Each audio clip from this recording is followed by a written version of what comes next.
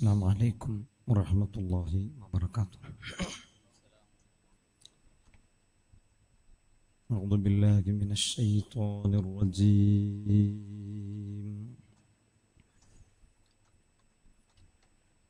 بسم الله الرحمن الرحيم.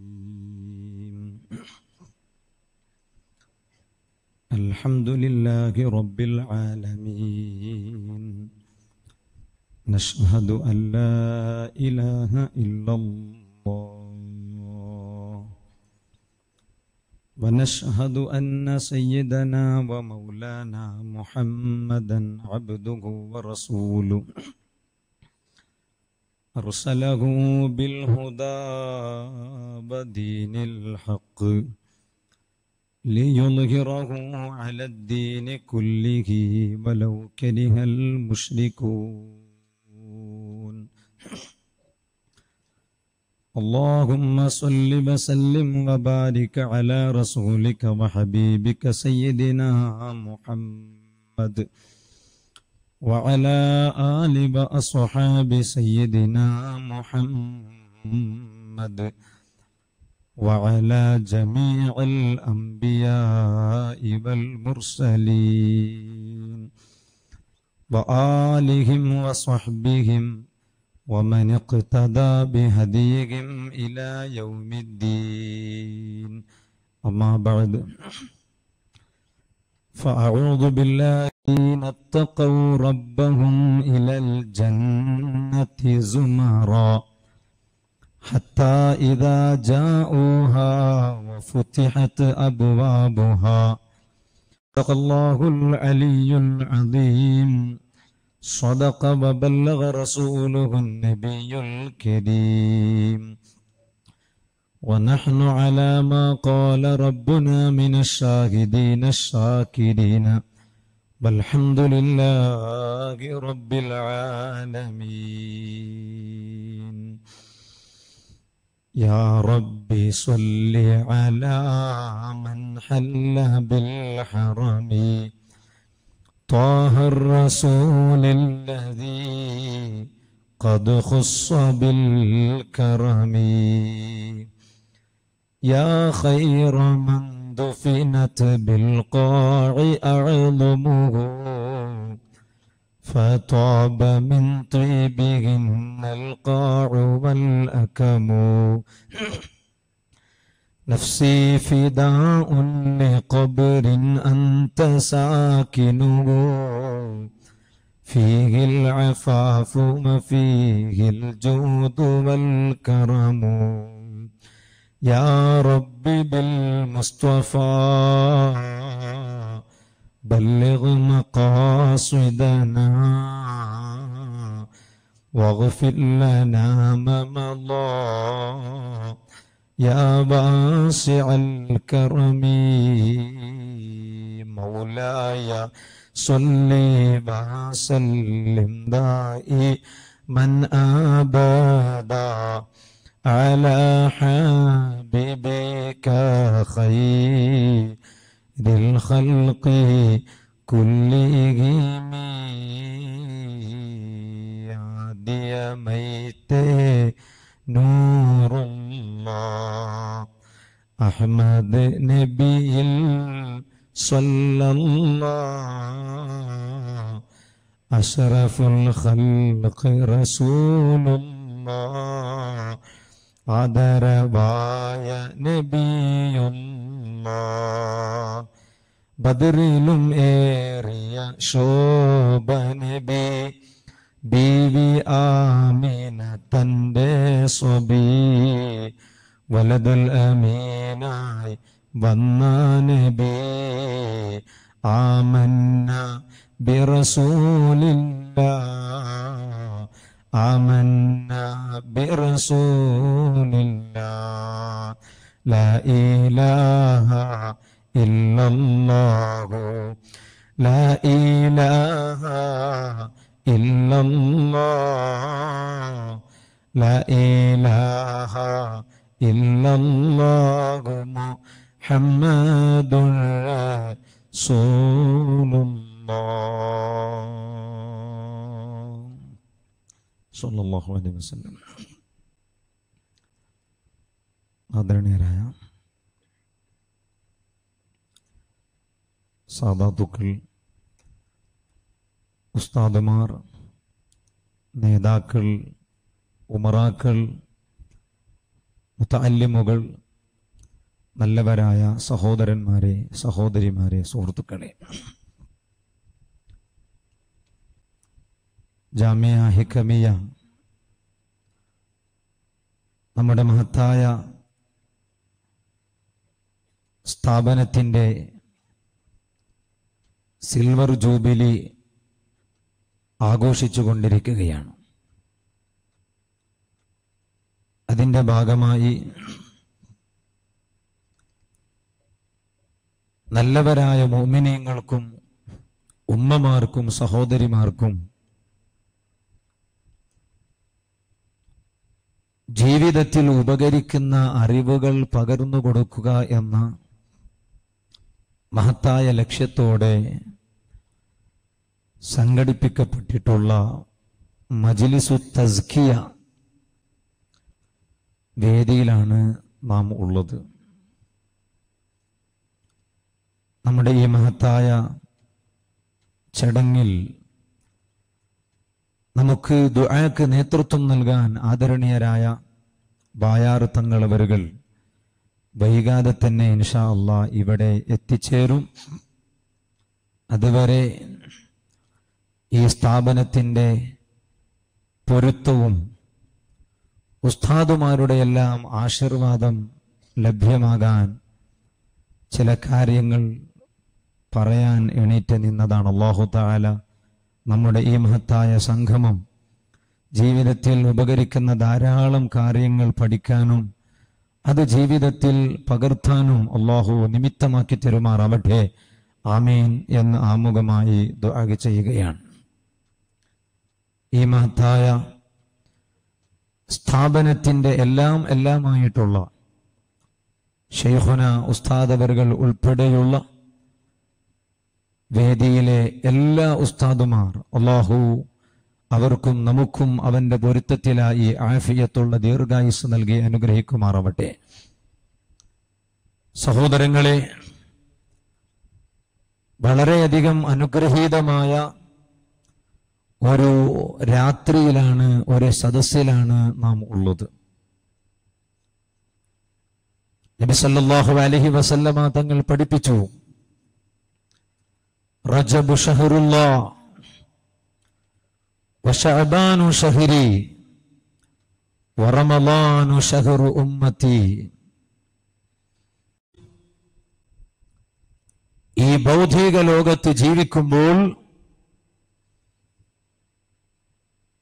ശാശ്വതമായ പരലോക സമയം വളരെ കുറഞ്ഞ കാലയളവ് മാത്രമാണ്. മുത്തുനബി സല്ലാഹു അലഹി വസ്ല്ലം പഠിപ്പിച്ചു. ഉമ്മത്തി ഔ എന്റെ ഉമ്മത്തീങ്ങളുടെ ആയുഷ്യകാലം അറുപതിന്റെയും എഴുപതിന്റെയും ഇടയിലാണ്. മുൻകാല പ്രവാചകന്മാരും അവരുടെ അനുയായികളെ പരിശോധിച്ചു നോക്കുമ്പോൾ അവരിലേക്ക് അപേക്ഷിച്ചു നോക്കുമ്പോൾ വളരെ ചെറിയ കാലയളവ് മാത്രമാണ് നമുക്ക് ഈ ദുനിയാവിൽ ജീവിക്കാൻ അള്ളാഹു അവസരം തന്നിട്ടുള്ളത്. അതുകൊണ്ടാണ് കലീമുല്ലാഹി മൂസ അലിഹിസലാം മൂസാ നബി അലിസ്സലാമിന്റെ അനുയായികൾ മൂസാ നബി അലിഹിസലാമിന്റെ ചാരത്ത് വന്ന് സങ്കടം പറയാണ്. മുസാ നബിയെ നാം ആയിരം വർഷങ്ങളോളം ജീവിക്കുകയാണ്. അതേസമയം നമ്മുടെ മക്കൾ അവർ മുന്നൂറ് നാന്നൂറ് വർഷങ്ങളാകുമ്പോഴേക്ക് ലോകത്തോട് യാത്ര പറയുകയാണ്. അതുകൊണ്ട് നിങ്ങൾ നബിയാണ്. നിങ്ങൾ അള്ളാഹുവിനോട് ഈ കാര്യം ഒരു സങ്കടമായി അവതരിപ്പിക്കുകയും കുറെ കാലം നമ്മുടെ മക്കൾ ജീവിക്കാൻ അവസരമുണ്ടാക്കി തരണം എന്ന് ബനു ഇസ്രായേൽ മൂസാ നബി അലിഹിസലാമിനോട് വന്ന് പറഞ്ഞപ്പോൾ മൂസാ നബി അലിഹിസലാം ചിരിച്ചു എന്ന് ചരിത്രത്തിൽ കാണാം. ബനു ഇസ്രായേലുകാർ മൂസാ നബി അലൈഹി സ്വലാമിനോട് ചോദിച്ചു എന്തേ നിങ്ങൾ ചിരിക്കാൻ കാരണം? കാരണം നമ്മുടെ ഒരു പ്രയാസം നിങ്ങളോട് വന്ന് പറഞ്ഞപ്പോൾ അതിന് ഒരു പരിഹാരം നിങ്ങൾ ഉണ്ടാക്കി തരിക എന്നല്ലാതെ ചിരിക്കുകയല്ലല്ലോ വേണ്ടത്. മുസാ നബി അലൈഹി സ്വലാം ബനു ഇസ്രായേലുകാരോട് പറഞ്ഞു ഞാൻ ചിരിക്കാൻ കാരണം എനിക്ക് ശേഷം ഒരു നബി വരാനിരിക്കുന്നു. അവരാണ് ആലമീന സല്ലല്ലാഹു വസല്ലമ തങ്ങൾ. ആ നബി സല്ലല്ലാഹു അലൈഹി വസല്ലമ തങ്ങളുടെ ഉമ്മകൾ ചിരിക്കാൻ കാരണം ഒരു വീട്ടിൽ മാത്രം താമസിക്കാനുള്ള സമയമൊന്നും അവർക്കില്ലല്ലോ. അവർക്ക് വളരെ ചെറിയ കാലയളവ് മാത്രമാണ് ജീവിക്കാൻ അള്ളാഹു അവസരം കൊടുക്കുന്നത്. എന്നാൽ ആ കാലയളവിൽ ജീവിക്കാൻ ഞാൻ പറഞ്ഞു വന്നത് വളരെ ചെറിയ കാലയളവ് മാത്രം അള്ളത്തോടെ ബോധ്യത്തോടെ ജീവിക്കുന്നവരാണ് ജീവിക്കേണ്ടവരാണ് സത്യവിശ്വാസികൾ. വലിയ വസല്ലമ മതങ്ങളെ കൂടെ എപ്പോഴും ഉള്ളവരാണ് സിദ്ദീഖുൽ അക്ബർ അൻഹു. കൂടെ പോയവരാരാണ്? ഞാനാണ് നബിയെ. പാവങ്ങളെ പരിഗണിക്കുകയും സഹായിക്കുകയും ചെയ്തവരാരാണ്? ഞാനാണ് നബിയെ. നബി സല്ലല്ലാഹു അലൈഹി വസല്ലം പറഞ്ഞു അബൂബക്കരും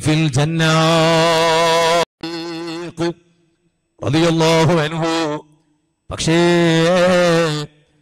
ആ ചരിത്രത്തിൽ കാണാം ഏത് സമയത്ത് ജീവിക്കുവാനാ? ഏത് മൃഗങ്ങളെ കാണുമ്പോഴും ഞാനൊരു മൃഗമാടിരുന്നെങ്കിലോ? ഒരു പക്ഷിയെ കാണുമ്പോൾ മാടിരുന്നെങ്കിലോ അതുകൊണ്ടാണ് അബൂബക്കർ ഒരു പക്ഷിയുടെ ചാരത്തു കൂടെ പോയി നീ ഇരിക്കുകയാണ്. പിന്നെയോ സുമ്മ തയക്കുലുമിന സമരി ആ മരത്തിലുള്ള പഴമെടുത്ത് തിന്നുകയാണ്. സുമ്മ തീറു ആ മരത്തിലെ പഴമെടുത്ത് തിന്നതിന് ശേഷം നീ അതാ വീണ്ടും പറക്കുകയാ പക്ഷേ നിന്നോട് പറയാനുള്ള കാര്യം ലൈസാലേക്ക് ഹിസാബും വല അദാബ്. നീ ഇത്രയെല്ലാം ചെയ്യുന്നുണ്ടല്ലോ. നിന്റെ മേലൊരു ചോദ്യമില്ലല്ലോ. ഒരു വിചാരണയില്ലല്ലോ. ഒരു ഹിസാബില്ലല്ലോ. ആ ചോദ്യമില്ലാത്തത് കൊണ്ട് തന്നെ ആ വിചാരണയില്ലാത്തത് കൊണ്ട് തന്നെ ആ ഹിസാബ് ഇല്ലാത്തത് കൊണ്ട് തന്നെ വല നിനക്ക് അതാപുമില്ലല്ലോ സിദ്ദീഖുൽ അക്ബർ റളിയല്ലാഹു എന്ന ശേഷം പറയാണ് യാ ലൈതനി കുന്തു മിസ്ലക് അല്ല പക്ഷേ ഞാൻ നിന്നെ പോലെയായിരുന്നെങ്കിൽ എത്ര നന്നാടിരുന്നു. എന്നിട്ട് മഹാനവരുകൾ പറയുകയാണ് അള്ളാഹുവാണ് സത്യം. ലവദത്തു അന്നീ കുന്തു ഷജറതൻ ഇലാ ജാനിബി ഒരു വഴിയുടെ അരികിൽ നിൽക്കുന്ന ഒരു മരം ഞാനാണിരുന്നെങ്കിൽ എത്ര നന്നാടിരുന്നു. ഞാനിങ്ങനെ നടന്നു പോകുമ്പോ കാണുന്ന ഒരു മരം പോലെ ഒരു മരമായിരുന്നെങ്കിൽ എത്ര നന്നാടിരുന്നു കാരണം എന്താണ് فمر علي بعير فأخذني فأدخلني فاه فلاكني ثم ازدردني ثم أخرجني بعرا ആ മരത്തിന്റെ അടുത്തു കൂടെ ഒരു മൃഗം ഇങ്ങനെ നടന്നു പോകുമ്പോ ഈ മരത്തിൽ നിന്നുള്ള ഇലകളെ എടുത്ത് മൃഗം തിന്നുകയാണ് പിന്നീട് അതാ ആ ഇലകൾ ഒരു വിസർജ്യ വസ്തുവായി പുറന്തള്ളപ്പെടുകയാണ് ഞാൻ അതുപോലെയുള്ള ഒരു മരമായിരുന്നെങ്കിൽ എത്ര നന്നാടിരുന്നു എന്നോട് വിചാരണയുണ്ടാകുമായിരുന്നില്ല. എനിക്ക് ഹിസാബ് ഉണ്ടാകുമായിരുന്നില്ല മഹാനവരുകൾ ഇങ്ങനെ പറഞ്ഞ് അവസാനം പറയാണ്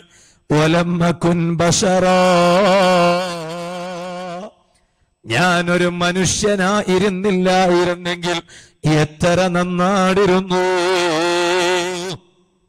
ആരാണിത് ചിന്തിക്കുന്നത്? ആരാണിത് പറയുന്നത്? അവിടുത്തേക്ക് ഐഡന്റിഫിക്കേഷൻ നേടിയതാണ് അബൂബക്കരും ഫിൽ ജന്ന.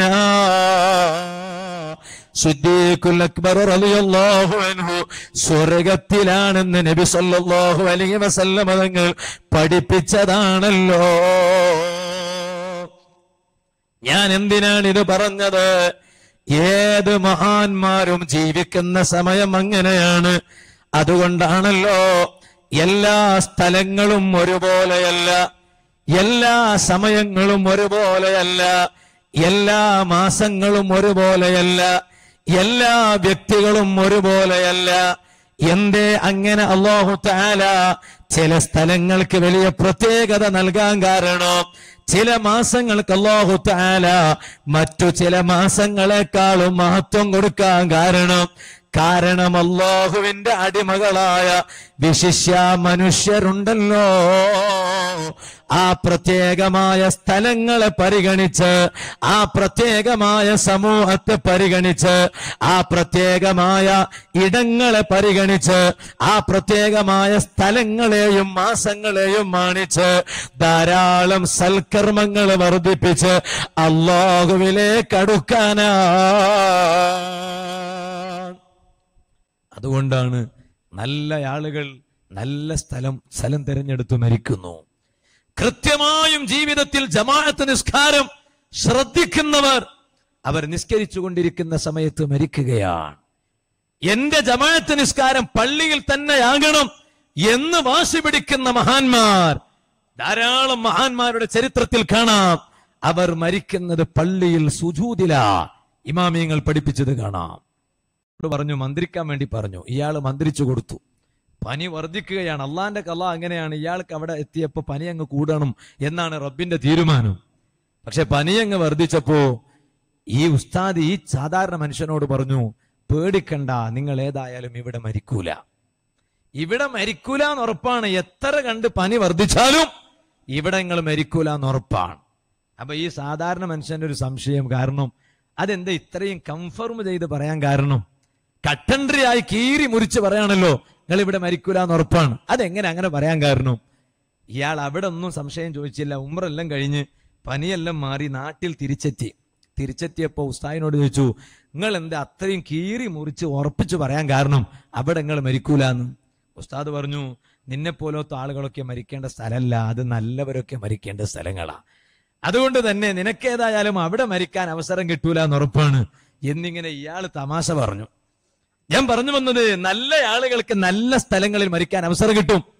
അതുകൊണ്ടാണ് ബഹുമാനപ്പെട്ട ഉമൈർ ബഹുമാന മഹാന്മാരായ പണ്ഡിതന്മാരുടെ ചരിത്രം പരിശോധിച്ചു നോക്കിയാൽ അവർക്കൊക്കെ നല്ല സ്ഥലങ്ങളിൽ മരിക്കാൻ അള്ളാഹുത്താൽ അവസരം കൊടുക്കുകയാണ്. അതുകൊണ്ടാണല്ലോ നല്ല നല്ല സ്ഥലങ്ങളും നല്ല നല്ല മാസങ്ങളും അല്ല തരുന്നത്. ഷാബാൻ മാസം ധാരാളം പ്രത്യേകം അവസരം കണ്ടെത്തിയിരുന്നു. മുത്ത് നബി സല്ലാഹു അലൈ വസല്ലമ തങ്ങൾ ഷാബാൻ മാസത്തിൽ നോമ്പനുഷ്ഠിക്കുന്നത് കണ്ടപ്പോ സ്വഹാബത്ത് ചോദിച്ചു അല്ല നബിയേ കൂടുതലും ഷാബാൻ മാസത്തിൽ നോമ്പനുഷ്ഠിക്കുന്നത് കാണാറുണ്ടല്ലോ. കാരണമെന്താ? നബി സല്ലല്ലാഹു അലൈഹി വസല്ലമ പറഞ്ഞു ഷാബാൻ എന്ന മാസമുണ്ടല്ലോ. രണ്ട് പ്രധാനപ്പെട്ട മാസങ്ങൾക്കിടയിലുള്ള മാസമാണ്. ഏതാണ് രണ്ട് പ്രധാനപ്പെട്ട മാസങ്ങൾ? ഒന്ന് റജബ് മാസമാണ് മറ്റൊന്ന് റമലാനാണ് റജബ് വരുമ്പോഴേക്ക് എല്ലാവരും ശ്രദ്ധിക്കാറുണ്ട്. റമലാന് വരുമ്പോഴേക്കും അതുപോലെയാണ്. പക്ഷെ റജബ് കഴിഞ്ഞ് റമലാന് വരുന്നതിന്റെ ഇടയ്ക്ക് ഷഹബാൻ ഉണ്ടല്ലോ പലരും മറന്നു പോവുകയാണ് ശ്രദ്ധിക്കാതെ പോവുകയാണ്. അതേ സമയത്ത് ഷാബാൻ മാസത്തെ സംബന്ധിച്ച് മുത്തുനിബിതങ്ങൾ പഠിപ്പിച്ചു. ജീവിതത്തിൽ ചെയ്ത സൽക്കർമ്മങ്ങൾ ഉണ്ടല്ലോ അത് പ്രത്യേകമായ പരിഗണനയോടെ അള്ളാഹുവിലേക്ക് ഉയർത്തപ്പെടുന്ന മാസമാണ് തുറുഫുൽ അഅമാൽ. ജനങ്ങളുടെ സൽക്കർമ്മങ്ങൾ എപ്പോഴും ഉയർത്തപ്പെടുമെങ്കിലും ഒരു പ്രത്യേകമായ പരിഗണനയോടെ അള്ളാഹുവിലേക്ക് സൽക്കർമ്മങ്ങൾ ഉയർത്തപ്പെടുന്ന മാസമാണ് ഷാബാൻ മാസം. അതുകൊണ്ട് എന്റെ അമലുകൾ ഷാബാൻ മാസത്തിൽ അള്ളാഹുവിലേക്ക് ഉയർത്തപ്പെടുമ്പോ ഞാൻ ഇഷ്ടപ്പെടുകയാണ്. ഞാനൊരു നോമ്പുകാരനായ നിലയ്ക്ക് എന്റെ സൽക്കർമ്മങ്ങൾ അള്ളാഹുവിലേക്ക് ഉയർത്തപ്പെടാൻ ഞാൻ ആഗ്രഹിക്കുകയാണ്. കാരണം എന്താണ് ഈ മാസത്തിന് പ്രത്യേകമായ ഒരുപാട് ഒരുപാട് പ്രത്യേകതകൾ പറയാനുണ്ട്. കൂട്ടത്തിൽ രണ്ട് പ്രധാനപ്പെട്ട കാര്യങ്ങൾ. ഹബീബായ നബി സല്ലല്ലാഹു അലൈഹി വസല്ലമ തങ്ങൾ ഷഹബാനിനെ സംബന്ധിച്ച് പറഞ്ഞപ്പോ ഷഹരി. ഷഹബാൻ എന്റെ മാസമാണെന്ന് പറഞ്ഞത് വെറുതെയല്ല. മുത്തുനബി സല്ലാഹു അലൈ വസല്ലമ തങ്ങളുമായി ബന്ധപ്പെട്ട രണ്ട് കാര്യം നടന്ന മാസമാണ്. ഏതാണത് പണ്ഡിതന്മാര് പറയുകയാണ്? ഒന്ന് തഹവീലുൽ ഖിബ്ല. ഇസ്ലാമിന്റെ ചരിത്രത്തിൽ മുസ്ലിമീങ്ങൾ കഴബയിലേക്ക് തിരിഞ്ഞ് നിസ്കരിക്കുകയാണ്. ഇടക്കാലത്ത് അള്ളാഹുവിന്റെ കൽപ്പന വന്നു കഅബയിൽ നിന്ന് കിബല തെറ്റിച്ചു ബൈത്തുൽ മുഖദ്സിലേക്ക് തിരിഞ്ഞ് നിസ്കരിക്കണമെന്ന് അള്ളാഹുവിന്റെ കൽപ്പന വന്നു മുത്തുനബി സല്ലാഹു അലൈ വസല്ലം തങ്ങൾ ആ ഭാഗത്തേക്ക് തിരിഞ്ഞ് നിസ്കരിച്ചെങ്കിലും അവിടുത്തെ മനസ്സിലെ വല്ലാത്ത ആഗ്രഹമാണ്. കഅബയിലേക്ക് തന്നെ തിരിഞ്ഞ് നിസ്കരിക്കണം. മുത്തുനബിയുടെ ആഗ്രഹമാണ്. അതേ സമയം നബി സല്ലാഹു അലൈ വസല്ലമ തങ്ങളുടെ ആഗ്രഹം അള്ളാഹു താല നടപ്പിലാക്കുന്നു. فلنولينك قبلة ترضاها فول وجهك شطر المسجد الحرام നബിയെ അവിടുത്തെ ആഗ്രഹം എന്താണ് അവിടുത്തെ ആഗ്രഹം കബയ കിബിലയായി കാണണമെന്നാണല്ലോ. അതുകൊണ്ട് സാരമില്ല.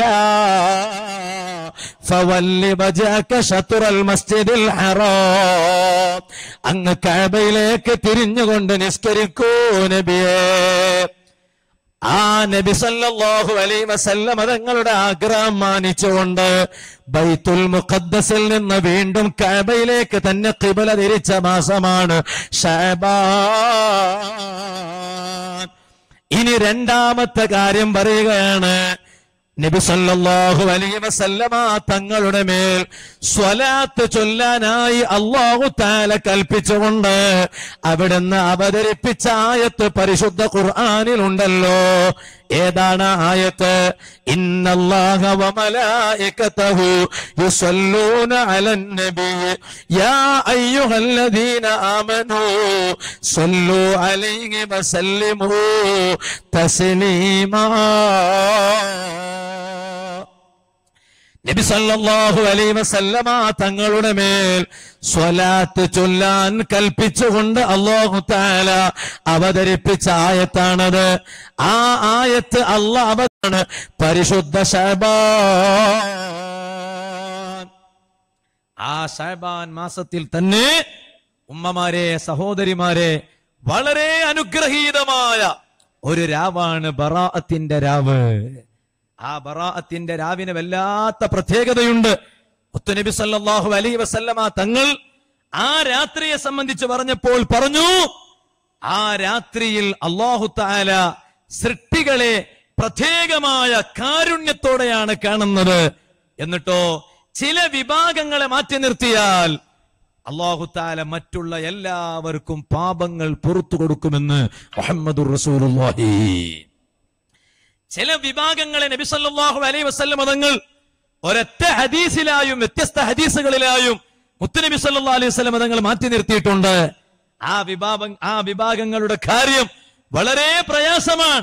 അതുകൊണ്ട് തന്നെ ഞാനും നമ്മളൊക്കെ ചിന്തിക്കേണ്ടത് മുത്തുനബി സല്ലല്ലാഹു അലൈഹി വസല്ലം മതങ്ങൾ ബറാഅത്തിന്റെ രാവിൽ അള്ളാഹുത്താലെ താല പാപങ്ങൾ പൊറത്തു കൊടുക്കും എന്ന് പറഞ്ഞപ്പോൾ മാറ്റി നിർത്തിയ വിഭാഗങ്ങളിൽ ഞാൻ പെട്ടിട്ടുണ്ടോ? എന്നാൽ ഞാൻ അതിൽ നിന്ന് കഴിച്ചിലാകണം. അത് ചിന്തിക്കേണ്ടതാണ് ഒരു സീമാനുള്ള സത്യവിശ്വാസിയായ മനുഷ്യൻ. ഉമ്മമാർ മനസ്സിലാക്കണം സഹോദരിമാർ മനസ്സിലാക്കണം ഒരു ബറാത്തിന്റെ രാവിൽ മുത്തനബി സല്ലാഹു അലൈ വസ്ലമ തങ്ങൾ ആയിഷ ബീവിയുടെ കൂടെ എങ്ങനെ കിടക്ക? ആയിഷ ബീവിയുടെ കൂടെ എങ്ങനെ കിടക്കാൻ? അന്ന് ആയിഷ ബാബി ആയിഷ ബീവി റളിയല്ലാഹു അൻഹയുടെ കൂടെ കിടക്കുന്ന രാത്രിയാ. കുറച്ചു നേരം അങ്ങ് കഴിഞ്ഞപ്പോൾ നബി സല്ലാഹു അലൈ വസ്ലമതങ്ങളെ മെല്ലെ അങ്ങ് തപ്പി നോക്കി ആയിഷ ബീവി റളിയല്ലാഹു അൻഹാ. മുത്തുനബി സല്ലാ അലൈഹി സ്വലമ തങ്ങൾ കൂടെയുണ്ടോ? അതല്ല എവിടെയെങ്കിലും പോയോ? എന്നിങ്ങനെ തെരഞ്ഞു നോക്കുകയാണ്. മുത്തനബി സല്ലാഹു അലൈഹി വസ്ലമ തങ്ങളെ തെരഞ്ഞു നോക്കിയപ്പോ തങ്ങളെ കിട്ടുന്നില്ല കാണുന്നില്ല. ആയിഷാ ബീബി റളിയല്ലാഹു എന്നെ പുറത്തു വന്ന് നോക്കുമ്പോൾ ഹബീബായ നബി സല്ലാഹു അലൈഹി വസല്ലം മദീനത്തെ പള്ളിയുടെ ചാരത്ത് ജന്നത്തുൽ ബഖീൽ അവിടുന്ന് ഇങ്ങനെ ദുആ ചെയ്തുകൊണ്ടിരിക്കുകയാണ്. ആയിഷാ ബീബി റളിയല്ലാഹു എന്നെ പറഞ്ഞു അത് ശരി ഇവിടെയാണോ ഉള്ളത്?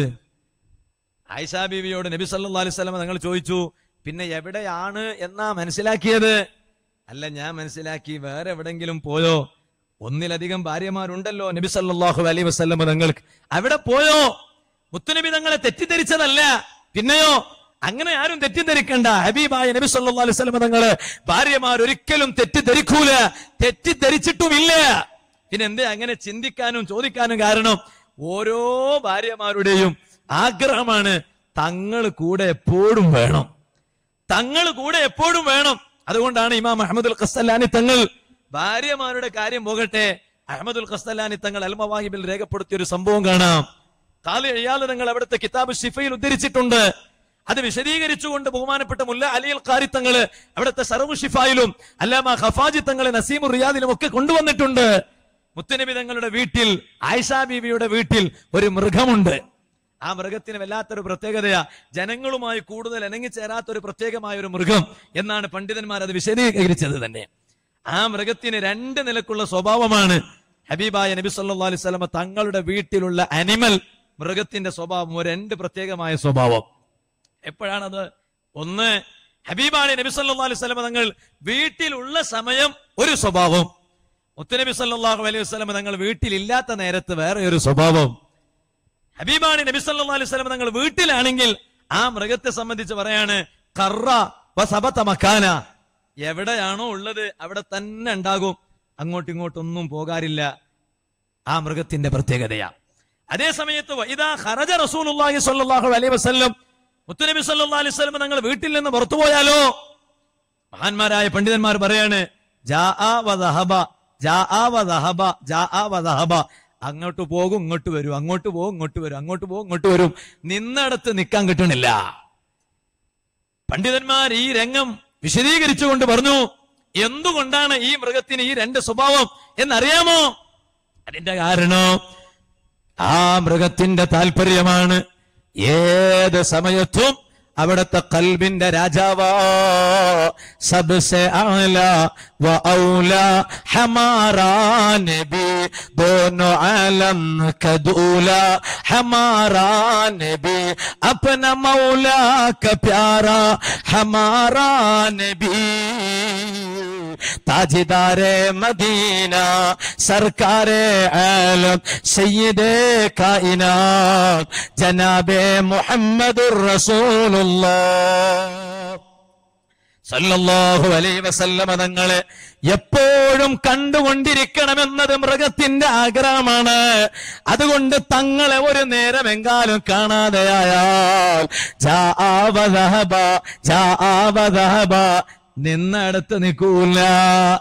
അതേസമയം ഹബീബായ നബി സല്ലല്ലാഹു അലൈഹി വസല്ലമ തങ്ങൾ വീട്ടിലാണെങ്കിലോ കറാവ സബത മക്കാന അങ്ങോട്ടും ഇങ്ങോട്ടും പോവൂല ചാടി കളിക്കൂല. എന്റെ കാരണം മുത്തനബിക്ക് ശല്യാവൂന്ന് കരുതിയിട്ടാ. ഞാൻ അങ്ങോട്ടും ഇങ്ങോട്ട് ചാടി കളിച്ചാൽ അങ്ങോട്ടും ഇങ്ങോട്ട് വലസിയാൽ ഹബീബാണ് തങ്ങൾക്ക് വിഷമായി പോകൂ. മുത്തനബി തങ്ങളെ മനസ്സ് വേദനിപ്പിക്കരുത് എന്ന് ഒരു മൃഗം ചിന്തിക്കാണ്. പണ്ഡിതന്മാർ ആ സംഭവം ഗ്രന്ഥങ്ങളിൽ യഥേഷ്ടം വിശദീകരിച്ചുകൊണ്ട് രേഖപ്പെടുത്തിയത് കാണാം. അപ്പൊ ഞാൻ പറഞ്ഞു വന്നത് എന്നെ സംശയിച്ചില്ല. പക്ഷെ അവരുടെയൊക്കെ ആഗ്രഹം തങ്ങൾ കൂടെ എപ്പോഴും വേണോ?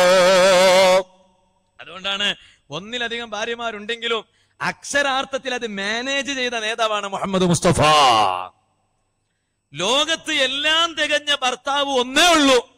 എല്ലാം തികഞ്ഞ ഭർത്താവ് ഒന്നേ ഉള്ളൂ. അത് നബി മുഹമ്മദ് മുസ്തഫ. ഏത് ഭർത്താവാണെങ്കിലും ചെറിയ അല്ലറ ചില്ലറ കുറവുകൾ ഉണ്ടാകും. ഇനി കുറവില്ലെങ്കിൽ തന്നെ കുറവാക്കുന്ന ഭാര്യമാരും ഉണ്ടാവും. നേരെ തിരിച്ചുണ്ടാവും അതേ സമയത്ത് ജീവിതത്തിൽ ഒരു കുറവും കാണാത്ത ഭർത്താവാണ് ഭാര്യമാർ. നിങ്ങൾ മനസ്സിലാക്കണം ഒന്നിലധികം ഉണ്ടായിട്ട് പോലും ഒരു കുറവും കാണിക്കാതെ മുത്തുനബിതങ്ങളെ മാലോകർക്ക് മുന്നിൽ കാണിച്ചു കൊടുത്ത മഹതിമാരാ ഉമ്മഹാത്തുൽ മോമിനീൻ. അതുകൊണ്ടാണ് അവരുടെ ആഗ്രഹം എപ്പോഴും തങ്ങളെ കൂടെ വേണം എന്നാണ് അവരുടെ ആഗ്രഹം. നബി സല്ലാ അലൈഹി സ്വലമ തങ്ങൾ യാത്ര പോവാണെങ്കിലോ അവിടുന്ന് ഓരോ ഭാര്യമാരെ കൂട്ടിക്കൊണ്ടുപോകും. ഹദീസിൽ കാണാം. ഓരോ ഭാര്യമാരെ കൂട്ടിക്കൊണ്ടുപോകും. ചില ആളുകളുണ്ട് ഭാര്യമാരെ തീരെ യാത്രയിൽ കൂട്ടിക്കൊണ്ടുപോകാറില്ല അതിന് പറയുന്ന ന്യായം ഉസ്താദെ ശല്യാണ് പണ്ടാരാണ്. എന്റെ നാട്ടിലെത്തിയാൽ അവിടെ പറയും ഇവിടുത്തെ ഭാഷ ഒന്നുമല്ല എന്റെ ഭാഷയിൽ പറയും പാടാരി എന്ന് പറയും ചില സ്ത്രീകളെ കുറിച്ച് പാടാരി എന്ന് പറഞ്ഞാൽ കൃത്യസമയത്ത് റെഡിയാകാറില്ല. കൃത്യസമയത്ത് ഒരുങ്ങാറില്ല. കൃത്യം പത്തു മണിക്ക് റെഡിയാകണമെന്ന് പറഞ്ഞാൽ പിറ്റേന്ന് പത്ത് മണിക്കായിരിക്കും ഒരുങ്ങുക. അങ്ങനെയാണ് നമ്മളെ നാട്ടിലൊക്കെ സ്ത്രീകൾ അവസ്ഥ. ഇവിടൊക്കെ നല്ലവരെന്നാ ഞാൻ മനസ്സിലാക്കുക. അള്ളാഹുത്തൽ എല്ലാവർക്കും പറക്കത്ത് ചെയ്യട്ടെ. നമുക്കൊക്കെ പരിചയമുള്ള പരിസരമാണല്ലോ ഇവിടെ തന്നെ പഠിച്ചതുകൊണ്ട്. അതുകൊണ്ട് ഈ നാട്ടിലെയും പരിസരത്തിലെ ഉമ്മമാരൊക്കെ നല്ല ഉമ്മമാരാ. അള്ളാഹു താല ആ തനിമ നിലനിർത്തി കൊടുക്കുമാറാവട്ടെ. സാധാരണ ഇന്ത്യൻ റെയിൽവേക്ക് അങ്ങനെ ഒരു സ്വഭാവമുണ്ട്. ഇന്ത്യൻ റെയിൽവേന്റെ സ്വഭാവം അങ്ങനെയാണല്ലോ. കൃത്യസമയത്ത് എത്താറില്ല. ഇപ്പൊ പിന്നെ ഷൊർണൂർ പരിസരത്തൊക്കെ അതിന്റെ പണിയൊക്കെ നടക്കുന്നതുകൊണ്ട് തീരെ എത്താറില്ല. അതുകൊണ്ടാണ് സുബാന ജല്ല ജലാലു ഒരു സ്ഥലത്ത് കൃത്യം ഒരു ട്രെയിൻ എത്തി. അപ്പൊ ജനങ്ങളൊക്കെ തെറ്റിദ്ധരിച്ചു പോയി. ട്രെയിൻ ഇങ്ങനെ കൃത്യം എത്താറില്ലല്ലോ. പിന്നെ എന്താ ഇങ്ങനെ? ഇന്ന് ട്രെയിൻ ഒരു കൃത്യം എത്തിയത്. അപ്പൊ അവിടെ നിന്ന് ഇങ്ങനെ സ്റ്റേഷൻ മാസ്റ്റർ ഇങ്ങനെ വിളിച്ചു പറയാ ആരും തെറ്റിദ്ധരിക്കണ്ട. ഇത് ഇന്ന് എത്തേണ്ട ട്രെയിൻ അല്ല. ഇന്നലെ എത്തേണ്ട ട്രെയിനാണ് അത് ഈ സമയത്ത് ഇന്ന് എത്തിയതാണ്. അപ്പൊ ഒരു ദിവസം വൈകിയതാ.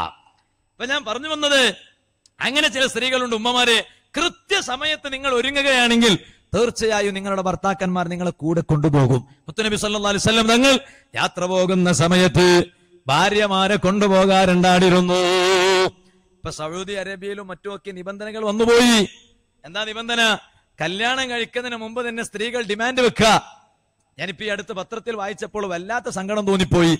ചില നിബന്ധനകൾ ഉണ്ട് തീരെ സഹിക്കാൻ പറ്റാത്ത നിബന്ധനകളാ. എന്താ നിബന്ധന? ഒന്ന് കായിക മത്സരങ്ങൾ കാണാൻ വേണ്ടി കൂട്ടിക്കൊണ്ടുപോകണം.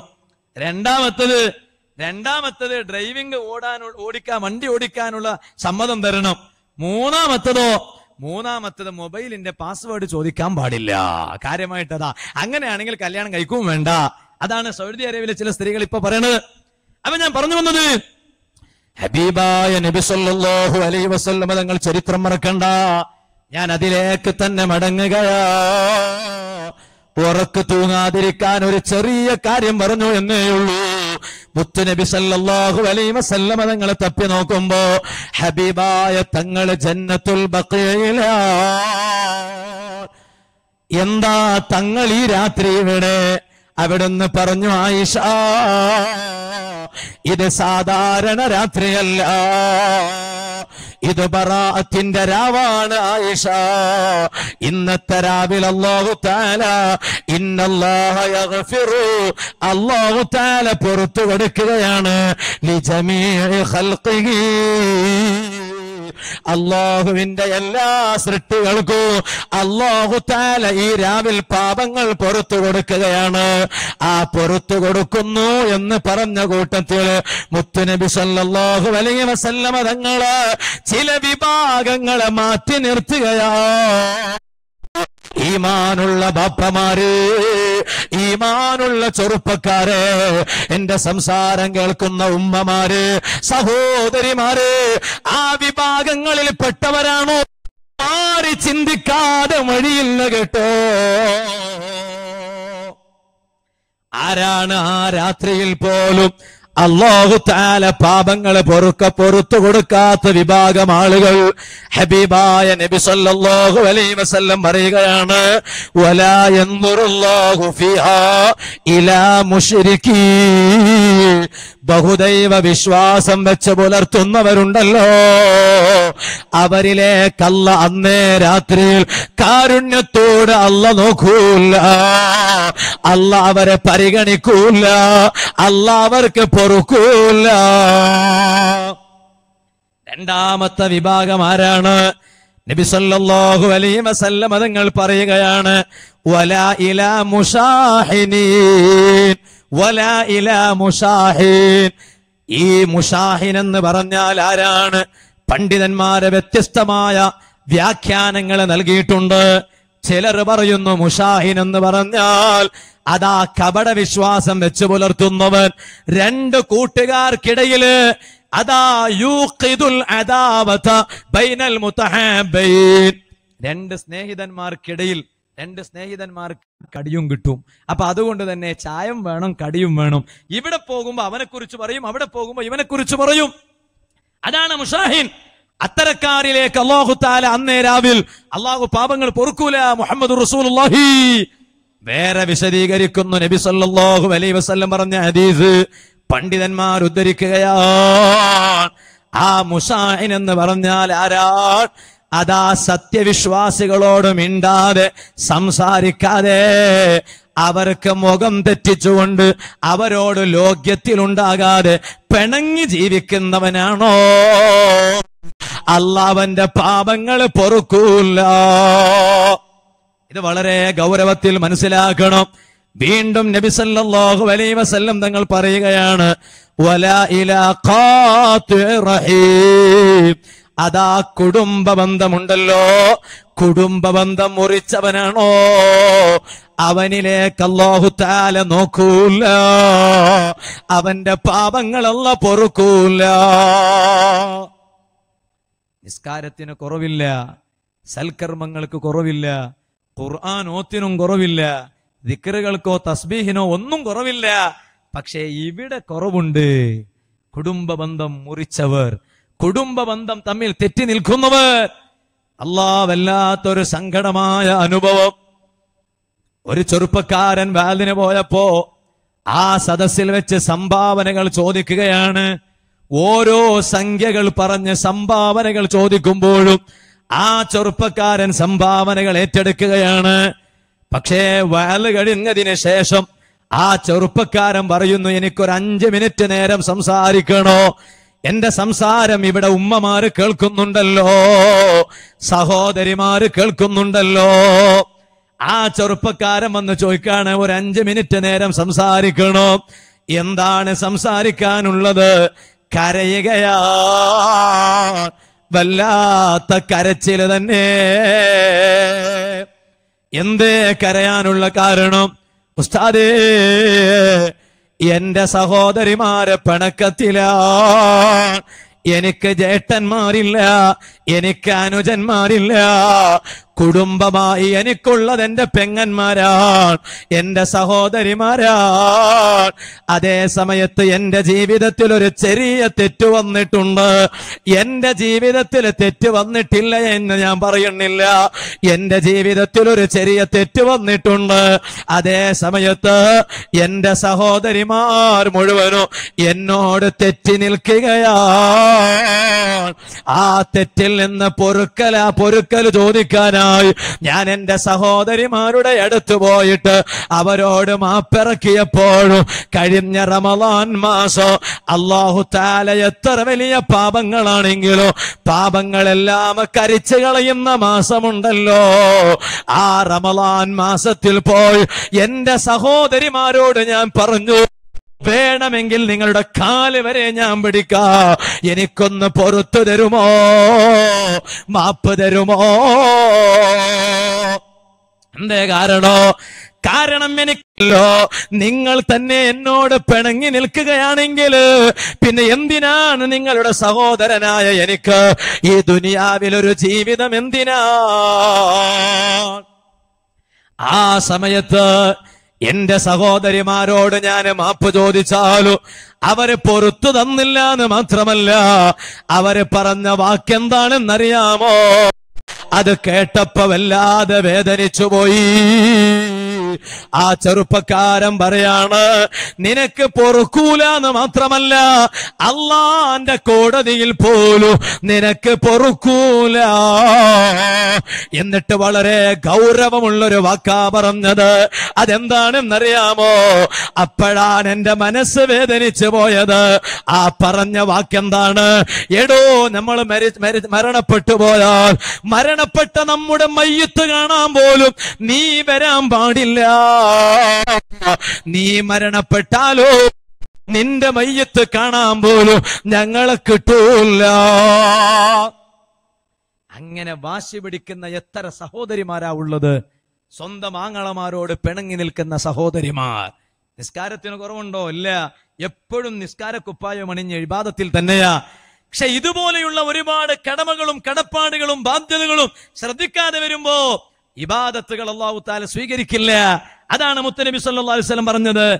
നിങ്ങളുടെ പാപങ്ങൾ പൊറുക്കണമെങ്കിൽ അന്നേ രാത്രിയിൽ നിങ്ങൾ ഒരു വിഭാഗത്തിൽ പെടാൻ പാടില്ല. ഏതാണ് ആ വിഭാഗം? കുടുംബ ബന്ധം മുറിച്ചവരാകാൻ പാടില്ല. എന്നിട്ട് നബി സല്ലല്ലാഹു അലൈഹി വസല്ലം തങ്ങൾ പറയുകയാണ് വല ഇല മുസ്ബിലി. അതേ ഉടുത്ത വസ്ത്രമുണ്ടല്ലോ.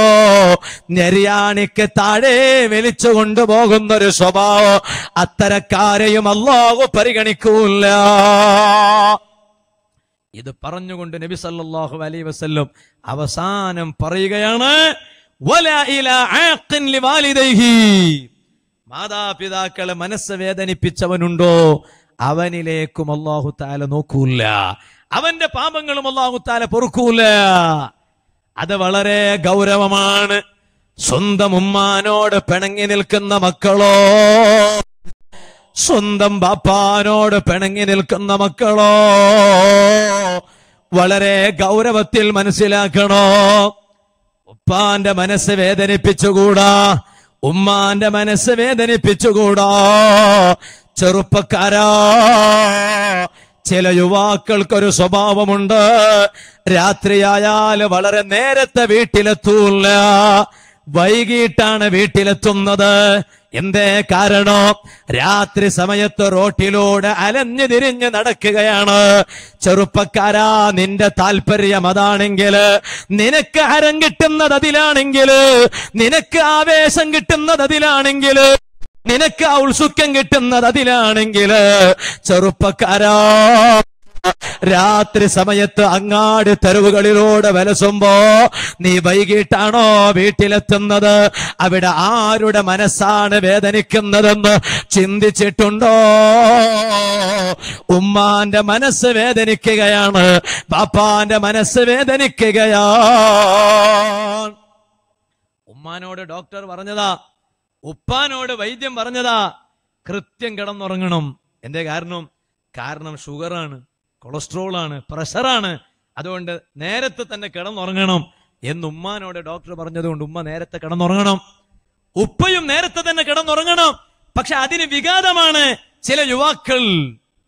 ഒരു സ്ഥലത്ത് വേദന പോയ സമയത്ത് ഒരു കടലാസിൽ ഒരു ദുവാ കൊണ്ടുള്ള ഒരു വസിയത്ത് വന്നു. അങ്ങനെ പല ദുവാ കൊണ്ടുള്ള വസിയത്ത് വരാറുണ്ട്. അപ്പോ ഇങ്ങനെ കടലാസിൽ ഒരു ദുവാ കൊണ്ടുള്ള വസിയത്ത്. എന്താണ് വസിയത്ത്? ആ കടലാസിൽ ഇങ്ങനെ ഒരു ഉമ്മാന്റെ കത്ത. ആ ഉമ്മ ഇങ്ങനെ എഴുതി വെച്ചിരിക്കുകയാണ് അതിൽ. എന്റെ ഭർത്താവിന് രണ്ട് അസുഖമുണ്ട് കാര്യമായ അസുഖമാണ് ഒന്ന് ദ്വയ ചെയ്യണം. ഒന്ന് മറ്റൊന്നിനേക്കാളും കാര്യമായ അസുഖമാണ്. അപ്പൊ എന്താണ് ഈ അസുഖം? ഒന്ന് ഷുഗറാ. ആ ഷുഗർ എന്ന് പറഞ്ഞാലോ ഷുഗർ എന്ന് പറഞ്ഞാൽ ഇപ്പൊ അസുഖമല്ല എന്ന് പറയേണ്ടി വരും. അങ്ങനെ എല്ലായിടത്തും വ്യാപിച്ചിരിക്കുക അള്ളാഹു താല നമുക്കൊക്കെ ആഫിയത്ത് ഈ അടുത്ത് ട്രെയിനിലൂടെ ഇങ്ങനെ തിരുവനന്തപുരം ഭാഗത്തേക്ക് ഇങ്ങനെ വേദന പോകുന്ന സമയത്ത് ട്രെയിനിൽ ഇങ്ങനെ ഒരുത്തനിങ്ങനെ വിളിച്ചു വരികയാണ് വിത്തൗട്ട് വിത്തൗട്ട് വിത്തൗട്ട് വിത്തൗട്ട് എന്ന്. എന്താ കാരണം? വിത്തൗട്ട് ചായ ആയിട്ടാണ് അങ്ങനെ ഒന്ന് കേൾക്കുന്നത് എന്താ കാരണം? അപ്പൊ ഏകദേശം ആളുകളും വിത്തൗട്ടിന്റെ ആളുകളായിരിക്കും. വിത്ത് വളരെ കുറവായിരിക്കും. അതുകൊണ്ട് വിത്തൗട്ടിനെ പരിഗണിച്ച പ്രത്യേകം ഒരു പരിഗണന റെയിൽവേ ട്രെയിനുകളിൽ വരെ കാണാറുണ്ട്. ഞാൻ പറഞ്ഞു വന്നത് അപ്പൊ ദ്വയ കൊണ്ടുള്ള വസീയത്ത് എന്താ? ദ്വയ കൊണ്ടുള്ള വസീയത്തിന്റെ കൂട്ടത്തിൽ ഒന്ന് ഷുഗറാ രണ്ടാമത്തത് ഷുഗറിനേക്കാളും വല്ലാത്തൊരു അസുഖം വേറെ ഉണ്ട് അതെന്താ അറിയോ അത് ഷുഗർ ഉണ്ടെങ്കിലും ഇയാൾക്ക് വിത്തൗട്ട് ചായ വേണ്ടി വരും. കുടിക്കാൻ വിത്തൗട്ട് ചായ പക്ഷെ ചായ വിത്തൗട്ട് ആണെങ്കിലും അതിന്റെ കൂടെ ജിലേബി വേണം. അതുപോലെ തന്നെ ലാഡു ലഡു വേണം. മധുരമുള്ളതേ വേണ്ടി വരൂ. അതുകൊണ്ട് ഉസ്താദെ ഷുഗർ മാറിയില്ലെങ്കിൽ തൽക്കാലം പ്രശ്നമില്ല. ആ അസുഖം ഒന്ന് മാറി കിട്ടാൻ വേണ്ടി ദ്വയ ചെയ്യണം. ഏത് അസുഖവും? വിത്തൗട്ട് ആണ് ചായ. അതേ സമയത്ത് ജിലേബി കൂടെ വേണം. അപ്പൊ ഞാൻ ചില ആളുകളോട് പറഞ്ഞപ്പോ അവർ പറഞ്ഞു ഉസ്താദെ അത് ആ ഉമ്മാക്ക് മനസ്സിലാകാത്തത് കൊണ്ടാ. എന്താ കാരണം? കാരണം ഈ വെള്ളത്തിലുള്ള ഷുഗറിന്റെ അംശത്തെക്കാളും കൂടുതലൊന്നുമല്ല മറ്റേത്. മറ്റേത് ചെറുതാണ്. വെള്ളത്തിൽ ഷുഗർ കൂടിയാലാണ് ഷുഗർ വല്ലാതെ വർദ്ധിക്കുക. അള്ളാഹു ആലം അതാണോ അല്ല അതല്ല തൽക്കാലം ഒന്ന് കഴിച്ചിലാകാൻ വേണ്ടി പറയാണോ എന്നറിയില്ല. ഞാൻ പറഞ്ഞു വന്നത് സുഹൃത്തുക്കളെ വളരെ ഗൗരവമുള്ളതാണ്. ഉമ്മാക്ക് രോഗമാണ് ബാപ്പാക്ക് രോഗമാണ്. ആ ഉമ്മാന്റെ മനസ്സ് വേദനിപ്പിച്ചുകൂടാ. എന്റെ സംസാരം കേൾക്കുന്ന സഹോദരിമാരെ ആർട്സിന്റെ പേരിലും സയൻസിന്റെ പേരിലും കോമേഴ്സിന്റെ പേരിലും ഭൗതിക കലാലയങ്ങളിൽ പഠിക്കാൻ പോവുകയാണ്. ആ ഡിഗ്രി അങ്ങ് കംപ്ലീറ്റ് ആയപ്പോ ഗ്രാജുവേറ്റഡും പോസ്റ്റ് ഗ്രാജുവേറ്റഡുമായി പുറത്തു വന്നപ്പോ എഡ്യൂക്കേറ്റഡ് ഫീമെയിലായി പുറത്തു വന്നപ്പോ ഉമ്മ നല്ലൊരു വരനെ തേടി വെച്ചിരിക്കുകയാണ്. ബാപ്പ നല്ലൊരു പുതിയാപ്പിളനെ തേടി വെച്ചിരിക്കുകയാണ്. പക്ഷേ നീ പറയുന്നതോ എനിക്ക് അവൻ വേണ്ട. കാരണം ഞാൻ തേടി വെച്ചവരുണ്ട്. ഞാൻ നോക്കി വെച്ചവരുണ്ട്. ജാതി ഏതാണ് പ്രശ്നമല്ല മതം ഏതാണ് പ്രശ്നമല്ല സംഘടന ഏതാണ് പ്രശ്നമല്ല അക്കീത ഏതാണ് പ്രശ്നമല്ല വിഷയം ഏതാണ് പ്രശ്നമല്ല. കണ്ടുകെട്ടിയ പ്രണയത്തിന്റെ പേരും പറഞ്ഞ് കാമുകന്റെ പിന്നാലെ ഉമ്മാക്ക് വില കൽപ്പിക്കാതെ പപ്പാക്ക് വില കൽപ്പിക്കാതെ ഒളിച്ചോടുന്ന സഹോദരി. നീയും ഒരു കാലത്ത് ഉമ്മയാകാൻ പോകുന്നുണ്ടെന്ന ബോധം വേണം കേട്ടോ. മുൻഗാമികളായ മഹാന്മാരുടെ ചരിത്രം പരിശോധിച്ചു നോക്കിയാൽ ഉമ്മാനോട് വലിയ ബഹുമാനമാണ്. ഉപ്പാനോട് വലിയ ആദരവാ. ബഹുമാനപ്പെട്ട ഹസനുൽ ബസരി റലിയല്ലാഹുവൻ മഹാനവരുകളുടെ ചരിത്രത്തിൽ കാണാം. രണ്ട് നിലയാ വീടുള്ളത്. താഴെ മുകളിലും ഗ്രൗണ്ട് ഫ്ലോറും ഫസ്റ്റ് ഫ്ലോറും രണ്ട് നില വീട്. മഹാനവരുകൾ മുകളിൽ കയറാറില്ല. മുകളിൽ കയറി കിടന്നുറങ്ങാറില്ല. എന്തേ കാരണം? താഴെയാണ് ഉമ്മ ഉള്ളത് ഉമ്മ താഴെയാണെങ്കിൽ ഞാൻ മുകളിൽ കയറിയാൽ ഉമ്മ മുകളിലാണ്. ഉമ്മാനേക്കാളും ഞാൻ മേലായി എന്ന് വരും. അതുകൊണ്ട് വേണ്ട. ഹസനുൽ ബസർ അലി ഒരൊറ്റ പാത്രത്തിൽ ഉമ്മ കഴിക്കുന്ന പാത്രത്തിൽ നിന്ന് ബഹുമാനപ്പെട്ടവർ കഴിക്കൂല ചരിത്രത്തിൽ കാണാം. കൂടെ ഇരുന്ന് കഴിക്കും. പക്ഷെ കൂടെ ഇരുന്ന് കഴിച്ചാലും ഇങ്ങനെ കഴിക്കൂല ഉമ്മാന്റെ പ്ലേറ്റ് കൈയിട്ടിട്ട് കഴിക്കൂല. എന്താ കാരണം? സ്നേഹം കുറഞ്ഞിട്ടല്ല ബഹുമാനം കുറഞ്ഞിട്ടല്ല. പിന്നെന്താണ്?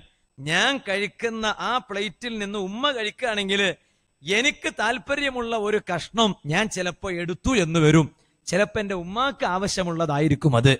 അപ്പൊ ഞാൻ എടുത്താൽ എന്റെ ഉമ്മാക്ക് കിട്ടൂല ഞാൻ കാരണമായി എന്റെ ഉമ്മാന്റെ ഒരു ആഗ്രഹം സാധിപ്പിക്കാതെ വന്നു എന്ന് വരും. അതുകൊണ്ട് വേണ്ട. കൂടെ ഇരുന്ന് ഭക്ഷണം കഴിക്കും. അത് വലിയ വിഷയ. കുടുംബത്തിന്റെ കൂടെ ഇരുന്ന് വീട്ടുകാരെ കൂടെ ഇരുന്ന് ഭക്ഷണം കഴിക്കണം. നബി മുഹമ്മദ് മുസ്തഫ. അൽ അഖുലു മഅൽ യൂരിസുൽ ബറക നബി സല്ലല്ലാഹു അലൈഹി വസല്ലം പറഞ്ഞു വീട്ടുകാരെ കൂടെ ഇരുന്ന് ഭക്ഷണം കഴിക്കുക എന്ന് പറഞ്ഞാൽ അത് ബറക്കത്തുണ്ടാക്കുകയാണെന്ന് നബി മുഹമ്മദ് മുസ്തഫ. മുത്തനബി സല്ലാ അലൈഹി വസല്ലം തങ്ങളുടെ ചാരത്ത് വന്നിട്ട് ഒരാൾ പറഞ്ഞു എത്ര കഴിച്ചാലും വയറ് നിറണില്ല നബിയെ. കഴിക്കണു? എത്ര കഴിച്ചാലും വയറ് നിറയണില്ല നബി സല്ലല്ലാഹു അലൈഹി സ്വലമ തങ്ങളോട് സങ്കടം പറയാ. അങ്ങനെയുണ്ട്. നമ്മളെ നാട്ടിൽ ഒരാൾ ഡോക്ടറെ കാണാൻ പോയി. ഡോക്ടറെ കാണാൻ പോയപ്പോൾ ഡോക്ടർ പറഞ്ഞു നിങ്ങൾക്ക് മരുന്നൊക്കെ ഞാൻ തരാം. അതിന്റെ കൂടെ ചില പത്യകൾ സ്വീകരിക്കണം.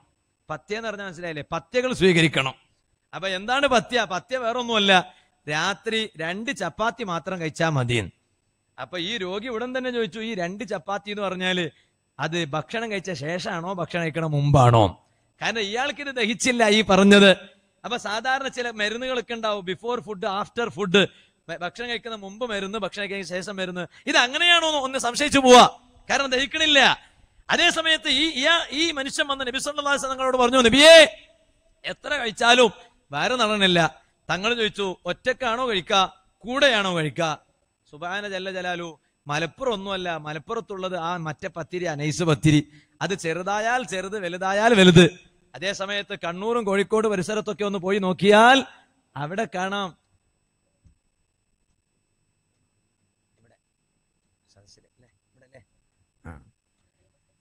കുട്ടികൾ ബക്കറ്റുമായിട്ട് ഇറങ്ങുന്നുണ്ട്. അതുകൊണ്ട് എല്ലാ മോമിനിയങ്ങൾ നല്ല സംഭാവന അതിൽ നിക്ഷേപിക്കുക. ഏകദേശം സംഭാവനകളൊക്കെ കൊടുത്തു കഴിയുമ്പോഴേക്ക് ഇൻഷാല്ല തങ്ങളവരുകൾ ഇവിടെ എത്തിച്ചേരും. അള്ളാഹുവേ എന്ത് ഹൈറായ ഉദ്ദേശം മനസ്സിൽ വെച്ചുകൊണ്ടാണോ ഈ സംഭാവനകളൊക്കെ കൊടുക്കുന്നത്? എല്ലാവരുടെയും ഉദ്ദേശങ്ങൾ സാധിപ്പിക്കണേ അല്ലാ. വിഷമങ്ങളെ തീർത്തു കൊടുക്കണേ അല്ലാ. സന്തോഷം ജീവിതത്തിൽ നിലനിർത്തണേ അല്ലാ. അപ്പൊ പറഞ്ഞു വന്നത് നല്ലോണം ശ്രദ്ധിച്ചാൽ മതി. ചിലപ്പോ അഞ്ഞൂറ് എന്ന് കരുതിയിട്ട് രണ്ടായിരം പോവും. അങ്ങനെ ആയ പ്രശ്നമൊന്നുമില്ല. അള്ളാഹു പറക്കത്ത് ചെയ്യട്ടെ അപ്പൊ അതുകൊണ്ട് ഇങ്ങോട്ട് ശ്രദ്ധിക്ക.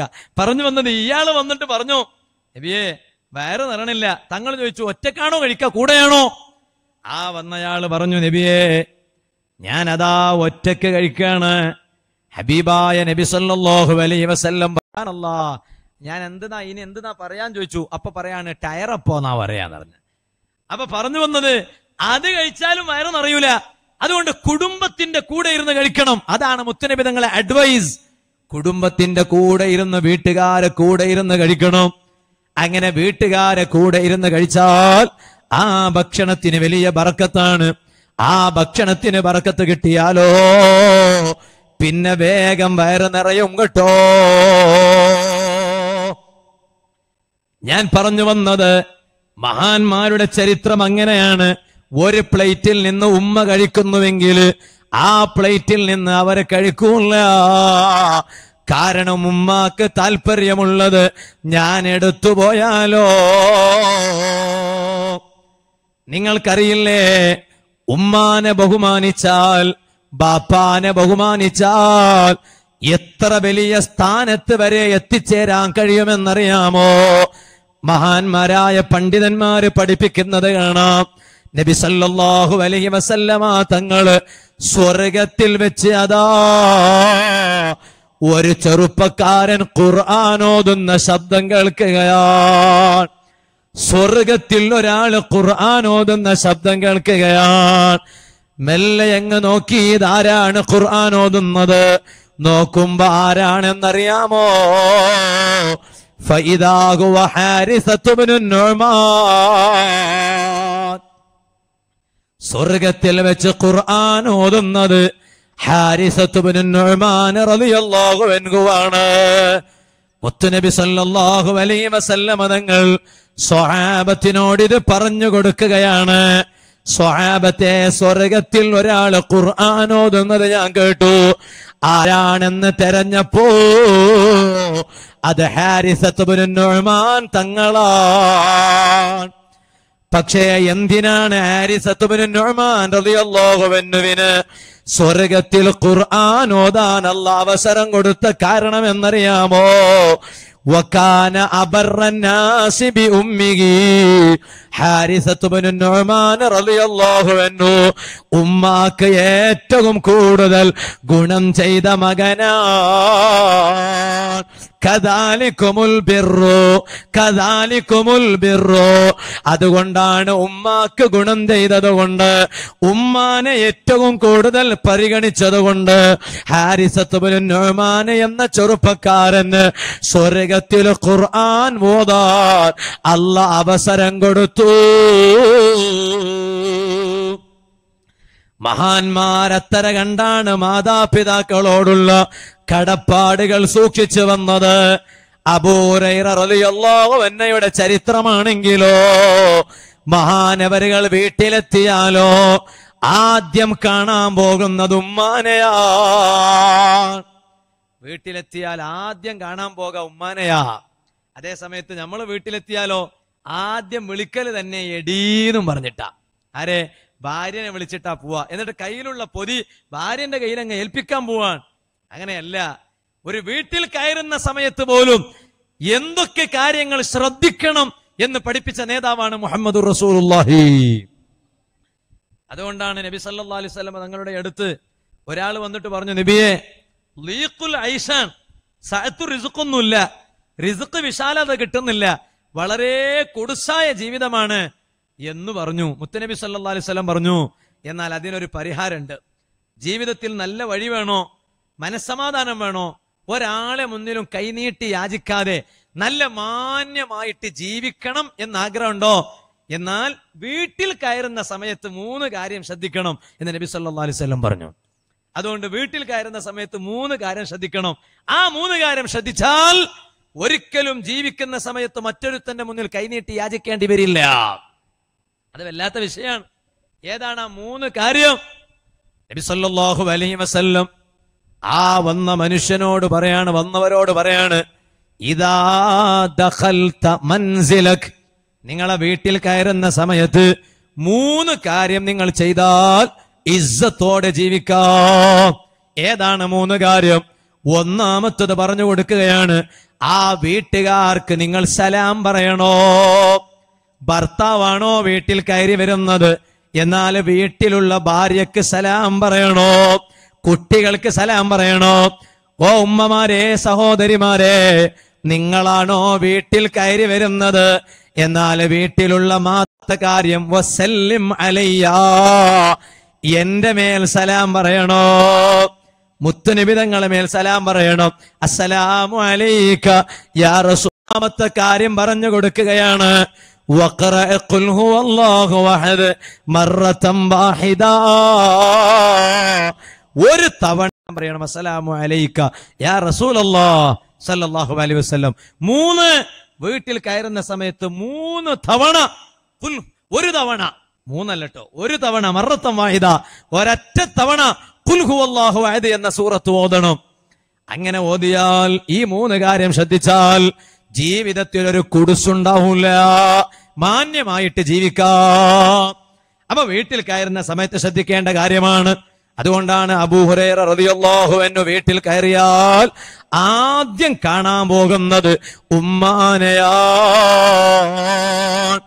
ഉമ്മാനെ കാണാൻ വേണ്ടി പോവാണ്. കണ്ടിട്ട് ഉമ്മാനെ കണ്ടിട്ട് അസ്സലാമു അലൈക്കും.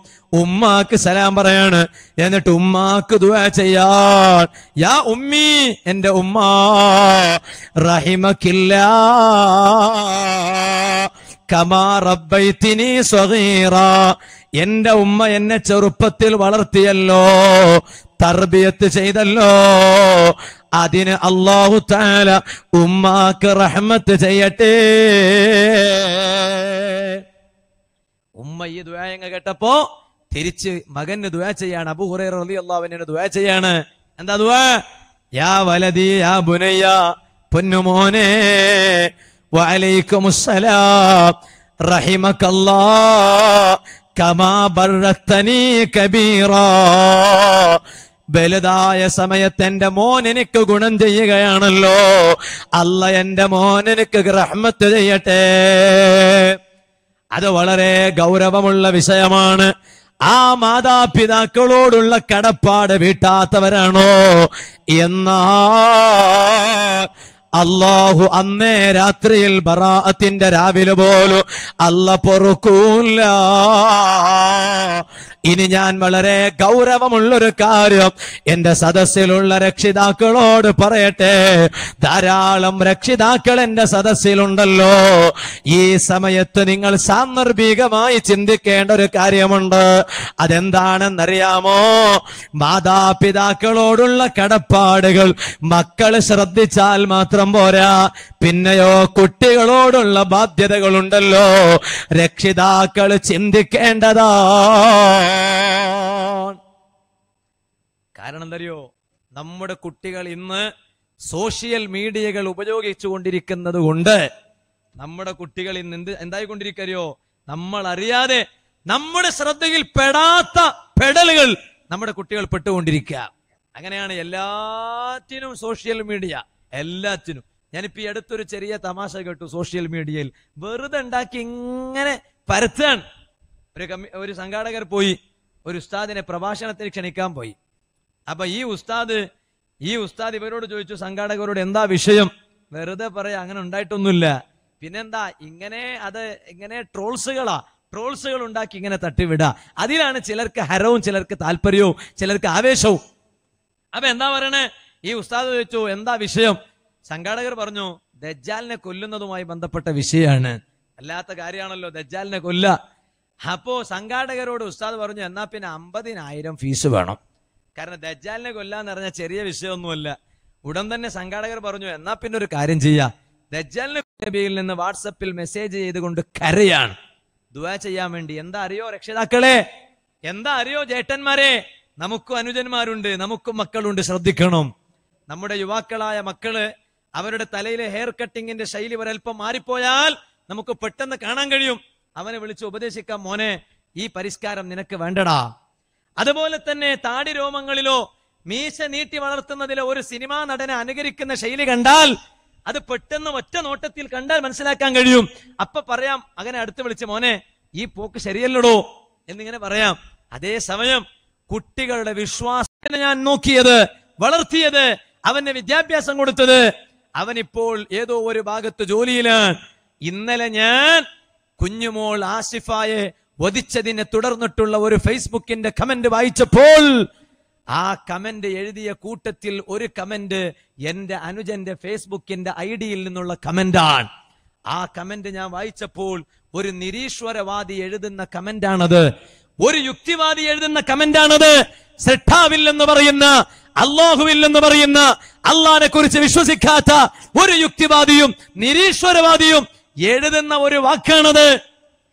ഞാൻ ഇവനെ ഫോൺ വിളിച്ചു ചോദിച്ചു അല്ല ഇത് നിന്റെ ഐഡിയ ആണല്ലടാ. നിന്റെ എഴുത്ത് ഇസ്ലാമിന് എതിരായി കാണുന്നുണ്ടല്ലോ. ഇവൻ പറഞ്ഞു ഏത് ഇസ്ലാം? ഏത് ഇസ്ലാം? അനുജൻ പറയാ ജേട്ടനോട് ഏത് ഇസ്ലാമിനെ കുറിച്ചാ നീ പറയണത്? സ്വന്തം മകനെ പോലെ പോറ്റി വളർത്തിയ ജ്യേഷ്ഠനോട് അനുജൻ ചോദിക്കുന്ന വാക്ക ഏത് ഇസ്ലാമിനെ കുറിച്ചാണ് നീ പറയണത്? അങ്ങനെ ഒരു ഇസ്ലാം എനിക്ക് പരിചയമില്ല. ഏത് അള്ളഹാനെ കുറിച്ചാണ് നീ പറയണത്? അങ്ങനെ ഒരു അള്ളഹാനെ കുറിച്ച് എനിക്ക് പരിചയമില്ല. നിങ്ങൾ അറിയണം പേരിൽ മുഹമ്മദാണ് പേരിൽ അബ്ദുള്ളയാണ് പേരിൽ അബ്ദുറഹ്മാനാണ് പേരിൽ അഹമ്മദാണ്. ആശയം യുക്തിവാദത്തിന്റെ ആശയമാണ്. ഇനിയും ചിന്തിച്ചില്ല എന്ന് കണ്ടാൽ രക്ഷിതാക്കൾ വളരെ ഗൗരവത്തിൽ പറയുന്നു നമ്മുടെ മക്കൾ നമ്മുടെ മക്കളായി കിട്ടൂല. ഒരു സംശയവും വേണ്ട. എന്നിട്ട് ഈ ചെറുപ്പക്കാരൻ വിളിച്ചിട്ട് കരഞ്ഞിട്ട് പറയാണ് എങ്ങനെയെങ്കിലും അവനെ അടുപ്പിച്ചിട്ട് അവനെ ഒന്ന് നന്നാക്കി എടുക്കണം. ഉസ്താദേ അവൻ ചോദിക്കുന്ന വാക്കെന്താണെന്നറിയോ? അവൻ ചോദിക്ക നിനക്ക് ഇസ്ലാമിനെ കുറിച്ച് എത്രമാത്രം അറിയാടാ? അതുകൊണ്ട് നീ എന്നോട് പറയണ്ട. എന്നിട്ട് ഈ ജേട്ടൻ പറയാണ് എനിക്ക് ഇസ്ലാമിനെ കുറിച്ച് ഇത്ര വണ്ണം അറിഞ്ഞിട്ട് പോലും എന്റെ അനുജനോട് മല്ലടിക്കാൻ എന്നെ കൊണ്ട് കഴിയണില്ല. അള്ളാഹു ആ സഹോദരന് ഹിദായത്തിന്റെ വെളിച്ചം കൊടുക്കട്ടെ. ഇതുപോലെ നമ്മുടെ മക്കൾ യുക്തിവാദികളായി കൊണ്ടിരിക്കുന്നു പഴയ കാലം പോലെയല്ല. ഇന്ന് നമ്മുടെ മക്കൾ ഇൽമ പഠിക്കുന്നത് ഗൂഗിൾ തുറന്നിട്ടാണ്. പഴയ കാലത്ത് അറിയില്ലയോ?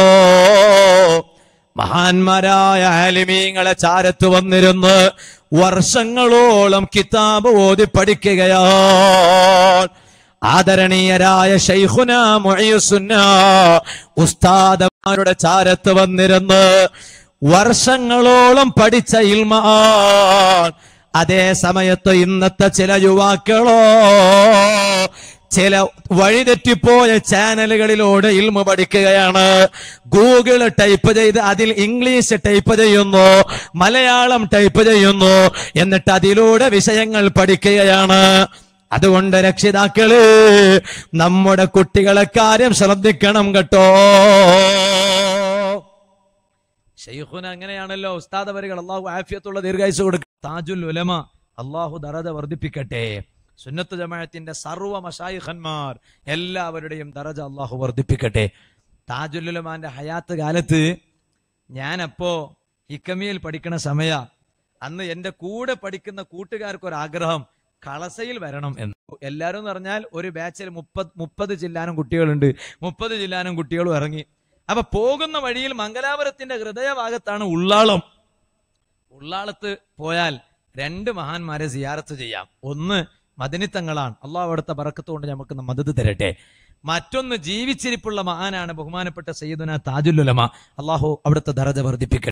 ആ റൂമിന്റെ പുറത്ത് വാതിലിന്റെ നേരെ മുന്നിൽ കസേരട്ട് ഇങ്ങനെ ഇരിക്കും താജുലുലും അവിടുത്തെ ഹയാത്ത് കാലത്ത്. അപ്പോ അത് ആ നാട്ടിന് വലിയൊരു വെളിച്ചമായിരുന്നു.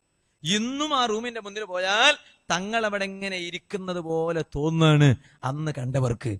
അപ്പൊ താജുലുലമ നമ്മളിങ്ങനെ കയറി ചെല്ലുന്നത് കണ്ടപ്പോ ചോദിച്ചു എവിടുന്നടാ വരുന്നത്? അപ്പൊ നമ്മൾ ഉസ്താദിന്റെ പേര് പറഞ്ഞിട്ട് നമ്മൾ പറഞ്ഞു അവിടുന്നാ വരിക അപ്പൊ ഉസ്താദിന്റെ പേര് പറഞ്ഞിട്ട് തങ്ങൾ പറഞ്ഞു ഓരോ ഓരായത് ഓടി ഓതി പഠിച്ചിട്ടാണടാ തെണ്ടി നടന്നിട്ടല്ല പോയി ഓതി പഠിക്കടാ സിയാറത്തും പറഞ്ഞിട്ട് ഇങ്ങനെ നടക്കണ്ട എന്ന് പറഞ്ഞു.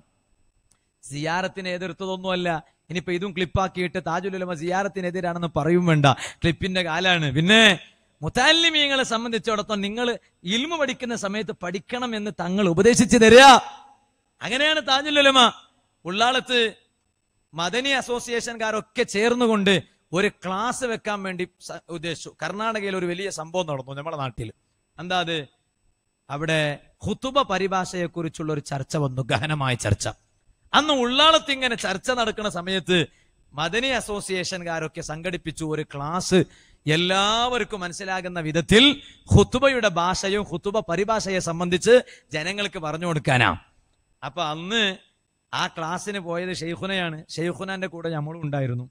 അവിടെ ഇങ്ങനെ ഭക്ഷണം കഴിച്ചുകൊണ്ടിരിക്കുന്ന സമയത്ത് തങ്ങളെ കൂടെ ഇരുന്ന് ഭക്ഷണം കഴിക്കാൻ അവസരം കിട്ടിയപ്പോ തങ്ങൾ ഇങ്ങനെ പറയുന്നത് ഞാൻ എന്റെ രണ്ട് ചെവികളെ കൊണ്ട് കേട്ടതാ അന്ന്.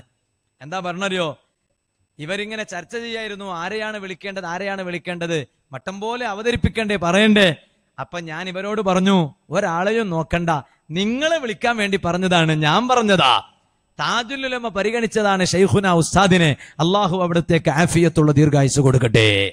ഞാൻ പറഞ്ഞു വന്നത് അതുപോലെയുള്ള മഷായിഖന്മാർ രക്ഷിതാക്കളെ ഇപ്പോഴും വെക്കേഷന്റെ സമയം വരികയാണ്. നമ്മുടെ കുട്ടികളുടെ റിസൾട്ടുകളെല്ലാം വരുമ്പോ അവരെ നല്ല കേന്ദ്രത്തിൽ ചേർത്തി പഠിപ്പിക്കേണ്ടതാണ്. ജാമിയ ഹിക്കമിയ ഉൾപ്പെടെയുള്ള എല്ലാ സ്ഥാപനങ്ങൾ ഒരൊറ്റ ക്യാമ്പസിന്റെ അകത്തളത്ത് മതപരമായ ഭൗതികമായ വിദ്യാഭ്യാസം നുകരാനുള്ള സൗകര്യങ്ങൾ ഉള്ളതാണ്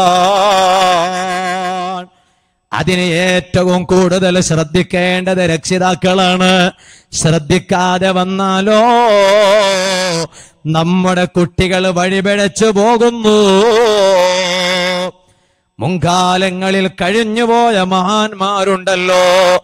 ആ മഹാന്മാരെല്ലാവരും മഹാന്മാരാകാൻ കാരണോ? അവരുടെ ഉമ്മമാരാ. അറിയില്ലേ എന്റെ സദസ്സിലുള്ള ഉമ്മമാരോട് പറയുകയാണ് മുൻകാലങ്ങളിൽ മഹാന്മാരായവരാരെല്ലാം ഉണ്ടോ അവരെയെല്ലാം ഉന്നത സ്ഥാനത്ത് എത്തിച്ചത് അവരുടെ ഉമ്മമാരാ. അതുകൊണ്ടാണ് കുട്ടികളുടെ കാര്യം ഏറ്റവും കൂടുതൽ ശ്രദ്ധിക്കേണ്ടത് ഉമ്മമാര് തന്നെയാണ്.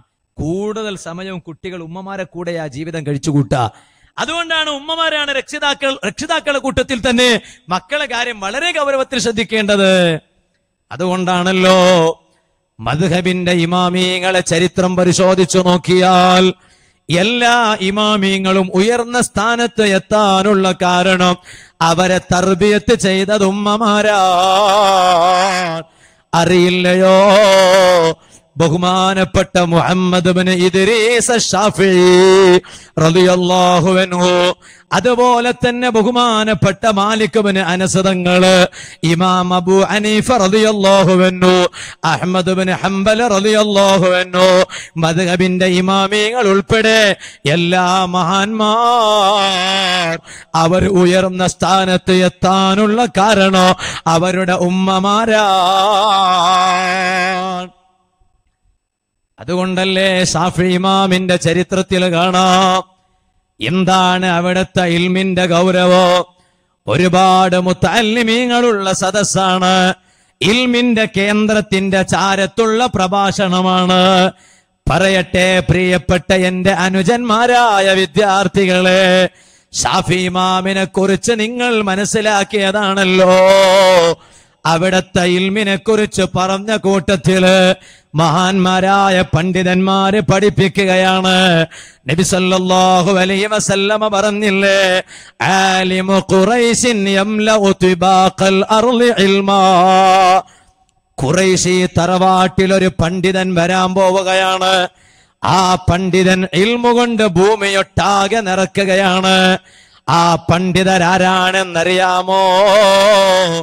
പിൽക്കാലത്തുള്ള പണ്ഡിതന്മാര് മുഴുവനും പറഞ്ഞു വഹുവ മുഹമ്മദ് ഇദ്രീസ് അത് ബഹുമാനപ്പെട്ട ഷാഫി മാമാ ആ ഷാഫി ഇമാം ഇൽമിന് വേണ്ടി എത്രയാ സമയം കണ്ടെത്തിയത്? അവിടുന്ന് രാത്രി സമയങ്ങൾ കിടക്കുകയാണ്. ഉറങ്ങുന്നില്ല. ആ കിടത്തത്തിൽ തന്നെ എത്രയോ മസാലകൾ കണ്ടെത്തുകയാണ്. ഷാഫി ഇമാമിനൊരു സൽക്കാരം നടക്കുന്നു. അവിടത്തെ ശിഷ്യന്മാരിൽ പ്രഗത്ഭരാണല്ലോ. ബഹുമാനപ്പെട്ട അഹമ്മദ് ബിൻ ഹംബൽ റളിയല്ലാഹു അൻഹു. ശിഷ്യന്റെ വീട്ടിൽ ഉസ്താദിനൊരു സൽക്കാരം നടക്കുകയാണ്. ഇമാമ ശിഷ്യന്റെ വീട്ടിലേക്ക് വരികയാണ്. ശിഷ്യനാണ് ബഹുമാനപ്പെട്ട അഹമ്മദ് അമ്പൽ അൻഹു. ആ ശിഷ്യന്റെ വീട്ടിൽ ഉസ്താദിന് സൽക്കാരം കൊടുക്കുക. ബഹുമാനപ്പെട്ട അഹമ്മദ് ബിൻ റളിയല്ലാഹു അൻഹുവിന്റെ വീട്ടിൽ അവരുടെ ഒരു സ്വാലിഹത്തായ മകളുണ്ട്. ആ മകൾ ബഹുമാനപ്പെട്ട ഷാഫി ഇമാമിനെ ഇങ്ങനെ ശ്രദ്ധിച്ചു നോക്കുകയാണ്. കാരണം എന്തറിയോ? ബാപ്പ ഉസ്താദിനെ കുറിച്ച് വല്ലാതെ പറയാറുണ്ടായിരുന്നു. എന്റെ ഉസ്താദ് അങ്ങനെയാണ് ഇങ്ങനെയാണ്. ഷാഫി ഇമാമിനെ കുറിച്ച് അഹമ്മദ് ബിൻ അമ്പൽ തങ്ങൾ ഇങ്ങനെ പറയാറുണ്ടായിരുന്നു. അതുകൊണ്ട് ബാപ്പ പറയുന്നത് പോലെ തന്നെയാണോ ബാപ്പാന്റെ ഉസ്താദായ ഷാഫിമാം എന്നിങ്ങനെ വീക്ഷിക്കണേ? ആ വീക്ഷിക്കുന്ന സമയത്ത് തെറ്റല്ലെങ്കിലും അഹമ്മദ് ബിൻ ഹംബൽ റളിയല്ലാഹുവിന്റെ മകൾ മൂന്ന് കാര്യം തെറ്റായി തെറ്റിദ്ധരിക്കുകയാണ്. ഏതാണ് മൂന്ന് കാര്യം? ഒന്നാമത്തത് ശ്രദ്ധിച്ചപ്പോൾ കണ്ടത് രാത്രി സമയത്ത് വല്ലാതെ ഭക്ഷണം കഴിച്ചു. വല്ലാതെ ഭക്ഷണം കഴിച്ചു. രണ്ടാമത്തെ കാര്യം ശ്രദ്ധിച്ചത് അതാ രാത്രി കിടന്നത് കണ്ടു.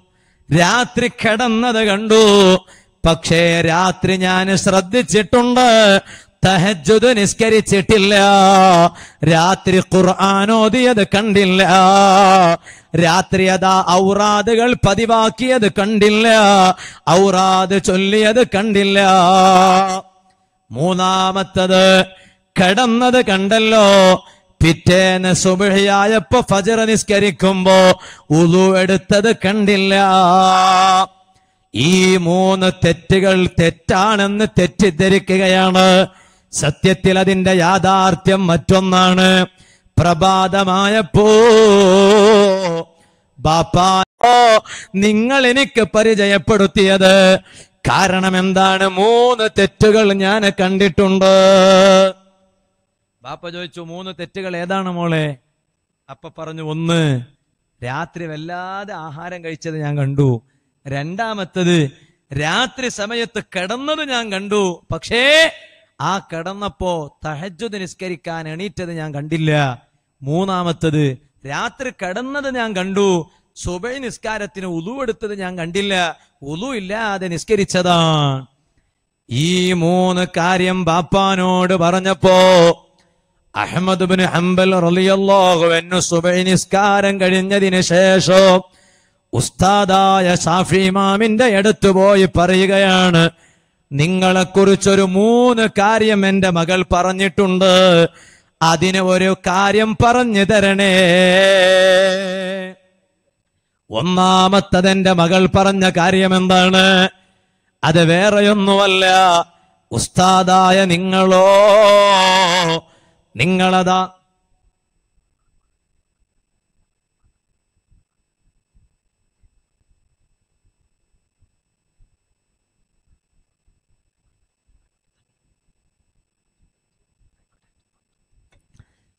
സുഹൃത്തുക്കളെ ഞാൻ നിർത്തുകയാണ്. പറഞ്ഞു വന്നത് ബഹുമാനപ്പെട്ട അഹമ്മദ് ഹംബൽ റളിയല്ലാഹുവെന്നു ഉസ്താദിനോട് ഈ കാര്യം അങ്ങ് പറഞ്ഞപ്പോ ഷാഫി ഇമാം പറയുകയാണ് മകൾ കണ്ടു എന്ന് പറഞ്ഞത് ശരിയാണ് പക്ഷേ ഒന്നാമതായി പറഞ്ഞ കാര്യമുണ്ടല്ലോ. ആ കാര്യം രാത്രി ഞാൻ ഭക്ഷണം കഴിച്ചു എന്നാണല്ലോ. അത് ഞാൻ കഴിച്ചത് എന്റെ ശിഷ്യന്റെ വീട്ടിൽ നിന്നാണ്. എനിക്കറിയാം എന്റെ ശിഷ്യന്റെ വീട്ടിൽ നിന്ന് കിട്ടുന്ന ഭക്ഷണോ ഹലാലായ ഭക്ഷണമാണ്. അത് ബറക്കത്തിന്റെ ഭക്ഷണമാണ്. നിസ്കരിക്കണമെങ്കിൽ രാത്രി കിടന്നുറങ്ങണ്ടയോ? ഉറക്കിൽ നിന്ന് ഉണർന്ന് നിസ്കരിക്കുന്ന നിസ്കാരത്തിനാണല്ലോ തഹജ്ജുദ് നിസ്കരിക്കുക എന്ന് പറയുക.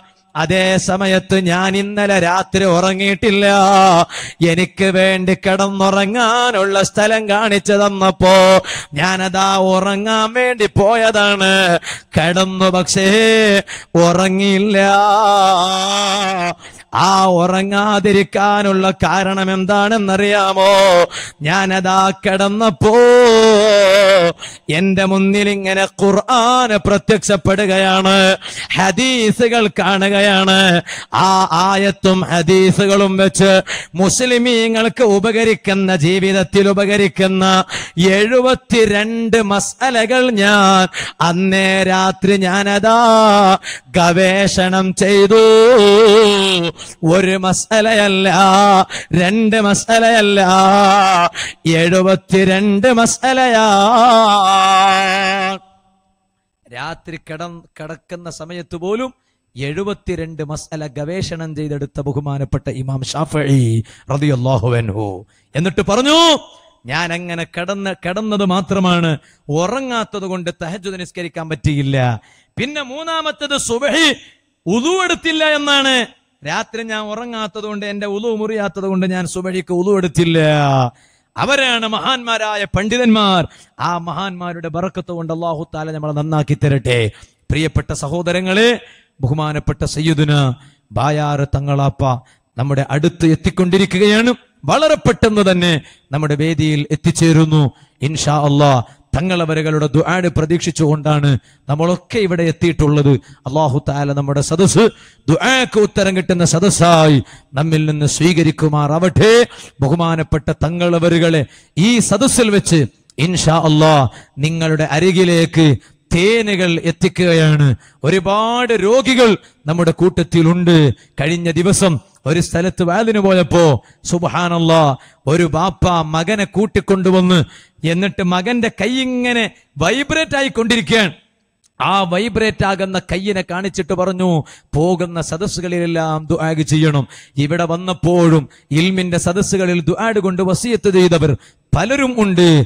ഉമ്മാക്ക് സുഖമില്ലെന്നും പറഞ്ഞ് മാതാപിതാക്കൾക്ക് സുഖമില്ലെന്നും പറഞ്ഞ്. അള്ളാഹുവേ ആരെല്ലാം രോഗങ്ങളെ പേരും പറഞ്ഞ് ദുആട് കൊണ്ട് വസിയത്ത് ചെയ്തിട്ടുണ്ടോ? ഈ സദസ്സിൽ ഒരുമിച്ച് കൂടിയ മോമിനിയങ്ങൾ മോമിനാത്തുകൾ ഉൾപ്പെടെ എല്ലാവർക്കും നീ ഷിഫ നൽകണേ റഹ്മാനെ. നാമമായി ബന്ധപ്പെട്ടവർക്ക് നീ ആഫിയത്ത് നൽകണേ റഹ്മാനെ. ഈ സദസ്സിൽ വെച്ച് ഇവിടുന്ന് തേന് വിതരണം ചെയ്യപ്പെടുന്നു. നല്ല സംഭാവന. ചിലപ്പോൾ തേന് വിതരണം ചെയ്യുമ്പോൾ അത് നമ്മളൊന്ന് ചെറുതായി കാണാതെ അതിലൊക്കെ വലിയ പവറുണ്ട്. സാധാത്തുക്കൾ കയറിയിറങ്ങുന്ന സദസ്സാണ്. ഇൽമിന്റെ കേന്ദ്രമാണ്. ഇൽമിന്റെ സംരംഭമാണ്. ധാരാളം മോമിനിയങ്ങൾ ഒരുമിച്ച് കൂടിയ സദസ്സാ. റഹ്മത്തിന്റെ മലക്കുകളുടെ സാന്നിധ്യമുള്ള സദസ്സാണ്. മഹാന്മാരുടെ തിരുനോട്ടം കൊണ്ട് ധന്യമാകുന്ന സദസ്സാണ്. അതുകൊണ്ട് എല്ലാ മോമിനിയങ്ങളും നിങ്ങളുടെ അരികിലേക്ക് വിദ്യാർത്ഥികൾ തേനുമായി വരുമ്പോൾ ചുരുങ്ങിയ ഒരു നല്ല സംഭാവന. അത്തരത്തിലൊന്നും ഞാൻ പറയില്ല. ഒരു ഇരുന്നൂറ് രൂപ ഒരു നൂറ് രൂപ അങ്ങനെ നല്ല സംഖ്യകൾ നിങ്ങൾ ആ കുട്ടികളെ കയ്യിൽ കൊടുത്ത് നിങ്ങളൊക്കെ അത് വാങ്ങണം എന്നിട്ട് വീട്ടിൽ നിങ്ങൾക്ക് രോഗികൾ ആരെല്ലാം ഉണ്ടോ അവർക്ക് നിങ്ങൾ അത് എത്തിക്കണം എന്ന് പ്രത്യേകമായി ഓർമ്മപ്പെടുത്തുന്നു. ഞാൻ പറഞ്ഞു വെച്ച വിഷയം മറക്കണ്ട. അതിലേക്ക് തന്നെ മടങ്ങുകയാണ്. അപ്പോഴേക്ക് ബഹുമാനപ്പെട്ട തങ്ങളവരുകൾ എത്തിച്ചേരും. ബഹുമാനപ്പെട്ട ഷാഫിഴിയുമാ അത്രയും വലിയ സ്ഥാനത്തേക്ക് എത്താനുള്ള കാരണം ഉമ്മയാ ഒരൊറ്റ കിടത്തത്തിൽ എഴുപത്തിരണ്ട് മസാല ഗവേഷണം ചെയ്തു എടുത്തെങ്കിൽ ആ ഒരു സ്ഥാനത്തേക്ക് മഹാനവരുകൾ എത്താനുള്ള കാരണം അവിടത്തെ ഉമ്മയാ കാരണം എന്താണെന്നറിയാമോ? അതേ ബാപ്പ രണ്ടാം വയസ്സിൽ തന്നെ മരണപ്പെടുന്നു. ഷാഫി ഇമാമിന് രണ്ട് വയസ്സുള്ള സമയത്ത് ബാപ്പ വഫാത്താവുകയാ പിന്നീട് ബാപ്പ ഇല്ലാത്ത കാര്യം ഉമ്മ അറിയോ ഏറ്റവും നല്ല പരിഹാര മാർഗമാണ് ഇതുപോലെയുള്ള സ്ഥാപനങ്ങളിലേക്ക് ചേർത്തു. കുട്ടികൾ നന്നാകാനുള്ള വഴിയാണ്. ഷാഫി മാമിനെ കൂട്ടിക്കൊണ്ടുവരുന്നത് മക്കയിലേക്കാണ്. ആ മക്കയിൽ വന്നുകൊണ്ട് ഖുർആൻ പഠിപ്പിക്കുകയാണ്. ഏഴ് വയസ്സായപ്പോ ഖുർആൻ മുഴുവനും കാണാതെ പഠിച്ചു. ഖുർആാന് ഹിഫുൽ ചെയ്തപ്പോ ഷാഫി മാമാകുന്ന മകനെ ഉമ്മയതാ കൂട്ടിക്കൊണ്ടുപോവുകയാണ്. എങ്ങോട്ടേക്കാ? മദീനയിലേക്കാ. കൈഫ മക്കീയതാ മുജുക്കോ കർദേം ഖുദാ. മാംഗതാ ഹേ ദുആ മദീനേ മദീനെ ചലാ. മുസ്കുരാ ഹേ ലഗി ദിൽ കോ ഹർ ഏക് ജോ താജോ മതാജോ മതാജോ മദീനെ ചലാ. ഖുർആൻ കഴിഞ്ഞപ്പോ കൂട്ടിക്കൊണ്ടുപോകുന്നു ഹദീസ് പഠിക്കാൻ. മദീനത്തെ പള്ളിയിലെ ദർസിൽ ചേർക്കുകയാണ്. എന്റെ ഉമ്മമാര് വളരെ ഗൗരവത്തിൽ ശ്രദ്ധിക്കണോ? മദീനത്തെ പള്ളിയിൽ ചേർക്കുന്നു ആരാണ്? മദീനത്തെ പള്ളിയിലെ മുദരീസ്. ദാറുൽ ഹിജറ ഇമാം മാലിക് ഇബ്നു അനസ് റളിയല്ലാഹു അൻഹു അവിടെ യഥാ മുഅത്ത എന്ന ഹദീസിന്റെ ഗ്രന്ഥം പഠിക്കുകയാണ്.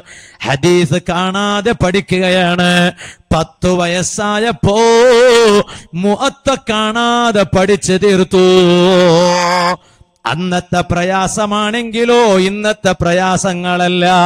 എന്തേ കാരണമെന്നറിയാമോ? അന്ന് ഷാഫി ഇമാമിനെ ഉമ്മ പഠിപ്പിച്ച ഒരു ഉദാഹരണം പഠിക്കുക പഠിപ്പിക്കുകയാണ് പണ്ഡിതന്മാർ.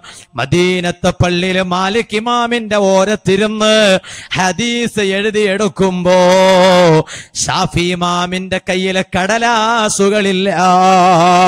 എവിടെയെങ്കാലും നല്ല ക്ലീനുള്ള എല്ലുകളങ്ങ് കണ്ടാൽ ആ എല്ലുകളങ്ങ് സ്വരൂപിച്ച് ആ എല്ലുകളിലൂടെ ഹദീസ് എഴുതി വെക്കുകയാണ്. എന്നിട്ട് ആ എല്ലുകളിൽ ഹദീസ് എഴുതി വെച്ചത് പൂർത്തിയായാൽ അത് ഒരു സ്ഥലത്ത് പോയി നിക്ഷേപിക്കുകയാണ്. ഒരു സ്ഥലത്ത് കൊണ്ടുപോയി സൂക്ഷിക്കുകയാണ്. അന്ന് ഇൽമ എഴുതി വെക്കാൻ കടലാസില്ലാതെയായി വന്നപ്പോ പണ്ഡിതന്മാരെ പഠിപ്പിക്കുകയാ. ഉമ്മയൻ ഉമ്മ എന്ത് ചെയ്തു എന്നറിയാമോ? സ്വന്തം താമസിക്കുന്ന വീടുണ്ടല്ലോ. ആ വീട് പണയം വെച്ചിട്ടാണ് ഷാഫി ഇമാമിന് ഇൽമ പഠിപ്പിച്ചത്. സ്വന്തം താമസിക്കുന്ന വീട് പണയം വെച്ച് മകനായ ഷാഫി ഇമാമിനെ ഇൽമു പഠിപ്പിക്കുകയാണ് ഉമ്മ.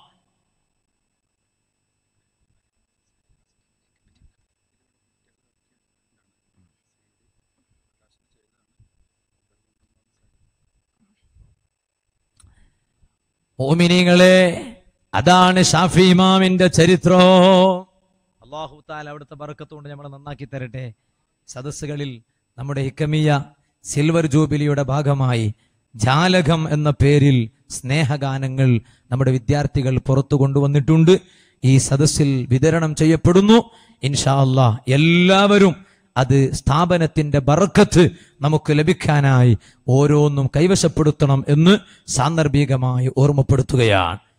അപ്പൊ ഷാഫി ഇമാം അത്രയും വലിയ സ്ഥാനത്തെത്താനുള്ള കാരണം ഉമ്മയാണ്. മാലിക്കുബിന് അനസിതങ്ങളെ ചരിത്രത്തിൽ കാണാം. അവിടുന്ന് ഉമ്മ ഇൽമ പഠിപ്പിച്ചത് സ്വന്തം വീട്ടിന്റെ മേൽഭാഗത്തുള്ള മരക്കഷ്ണങ്ങൾ വിറ്റുകൊണ്ടാണ്. ബഹുമാനപ്പെട്ട മാലിക്കുബിന് അനസതങ്ങളുടെ ഉമ്മ ഇൽമ പഠിപ്പിച്ചത് കേട്ടോ. എന്നിട്ടോ ഏതുവരെ പഠിപ്പിച്ചു? മാലിക് ഇമാമിന്റെ ദർസിൽ ഷാഫി ഇമാം ഓതി പഠിക്കുമ്പോ അവിടുന്നതാ ചെയ്ത ഒരു കാര്യം എന്താണ്? ഉസ്താദിനോട് വന്ന് ചോദിച്ചു ഉസ്താദേ എനിക്കെന്റെ ഉമ്മാനെയൊന്ന് കാണാൻ പോകണോ? രക്ഷിതാക്കളെ നമ്മുടെ മക്കൾക്ക് നാം പഠിപ്പിക്കേണ്ട പ്രധാനപ്പെട്ട കാര്യം എന്താണ്? അത് ഇവിടെ വളരെ ഗൗരവത്തിൽ മനസ്സിലാക്കണം. പഠിക്കുന്നതിന്റെ ഇടയ്ക്ക് ഉമ്മാനെയൊന്ന് കണ്ടു വന്നോട്ടെ എന്ന് സമ്മതം ചോദിക്കുകയാണ്. ഉസ്താദായ മാലിക്കുവിന് അനസതങ്ങൾ സമ്മതം കൊടുക്കുകയാണ്. ഷാഫി മാമദ വീട്ടിൽ പോകുന്നു ഉമ്മാനെ കാണാൻ. ഉമ്മ താമസിക്കുന്ന വീട്ടിന്റെ വാതിലങ്ങ് മുട്ടുകയാണ്. ഉമ്മയതാ വീട്ടിന്റെ ഉള്ളിൽ നിന്ന് ചോദിക്കുകയാണ് മൻ അന്ത? ആരാണ് നിങ്ങൾ? ഷാഫി മാമ വീട്ടിന്റെ പുറത്തു നിന്ന് പറയുകയാണ് അന ഇബുനുക്കി മുഹമ്മദ്. ഞാൻ ഉമ്മാന്റെ പൊന്നുമോന് മുഹമ്മദാ. ചോദിച്ചു മുഹമ്മദ് എവിടുന്ന് വരികയാണ്? പറഞ്ഞു മിനൽ മദീന. മദീനത്തെ പള്ളിയുടെ ദർസിൽ നിന്ന് വരികയാണ്. മോനെ എന്റെ മോന് മുഹമ്മദ് എന്തുമായിട്ടാ വരുന്നത്? ഷാഫിമാം പറഞ്ഞു "ജിഅ്തുകി ബിൽ ഇൽമി വല്ലദബി. ഉമ്മാന്റെ അടുത്തേക്ക് ഞാൻ വരുന്നത് ഇൽമുമായിട്ടാണ് അദബുമായിട്ടാണ് ഇൽമുമായിട്ടാണ് അദബുമായിട്ടാണ് ഉമ്മ പറഞ്ഞു എന്റെ മകൻ ഇപ്പോഴും ഷാഫിയായിട്ടില്ല. ആരാകണമെന്ന് കരുതിയിട്ടാണോ എന്റെ മകനെ ഞാൻ പഠിക്കാൻ ചേർത്തിയത്? എന്റെ മകൻ ആ സ്ഥാനത്ത് എത്തിയിട്ടില്ല. ഒരു കാര്യം കൂടി പഠിക്കാനുണ്ട്. എന്റെ മകൻ പോയി പഠിച്ചു വന്നോ. ഷാഫി മാമത വീണ്ടും മദീനത്തെ പള്ളിയിൽ പോവുകയാണ്.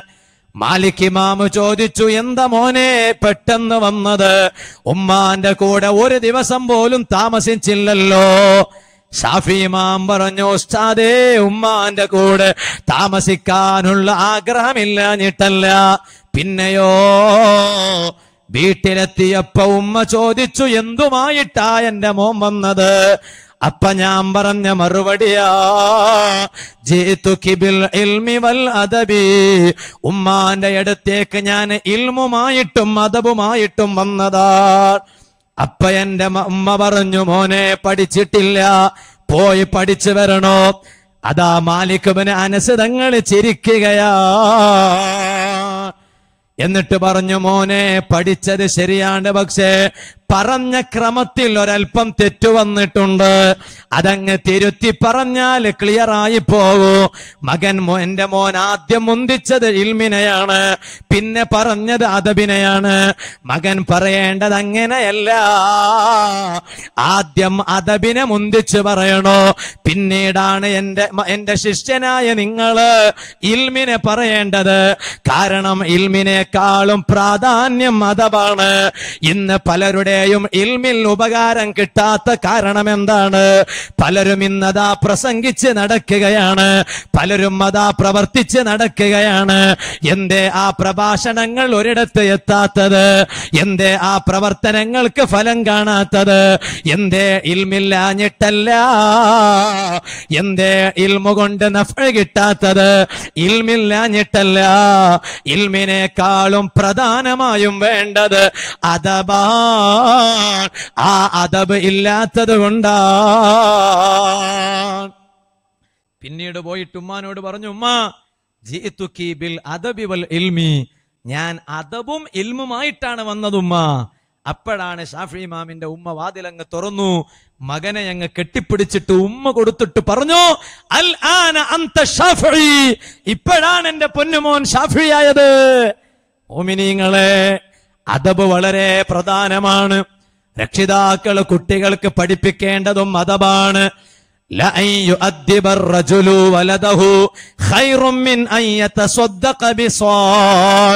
ഒരു സ്വതക്ക ചെയ്യുന്നതിനേക്കാളും ഉത്തമം.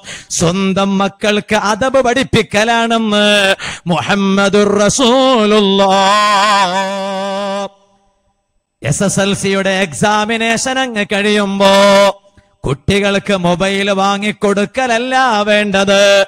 പെൺകുട്ടികൾക്ക് മോട്ടോർ ബൈക്ക് വാങ്ങിക്കൊടുക്കലല്ല വേണ്ടത്. നമ്മുടെ മക്കൾക്ക് നാം കൊടുക്കുന്ന കൊടുതികളിൽ വെച്ച് ഏറ്റവും ഉത്തമമായത് ഏതാണ്? ഹബീബായ തങ്ങൾ പറഞ്ഞില്ലയോ? അവിടുന്ന് പഠിപ്പിച്ചു ലിബലദിൻ മിൻ മിൻ അദബിൻ ഹസനീൻ. ഒരു ബാപ്പയോ ഒരു ഉമ്മയോ കുട്ടികൾക്ക് കൊടുക്കുന്ന കൊടുതികളിൽ വെച്ച് ഏറ്റവും വലിയ കൊടുതി മിൻ അദബിൻ ഹസനീൻ. നല്ല അദബാ.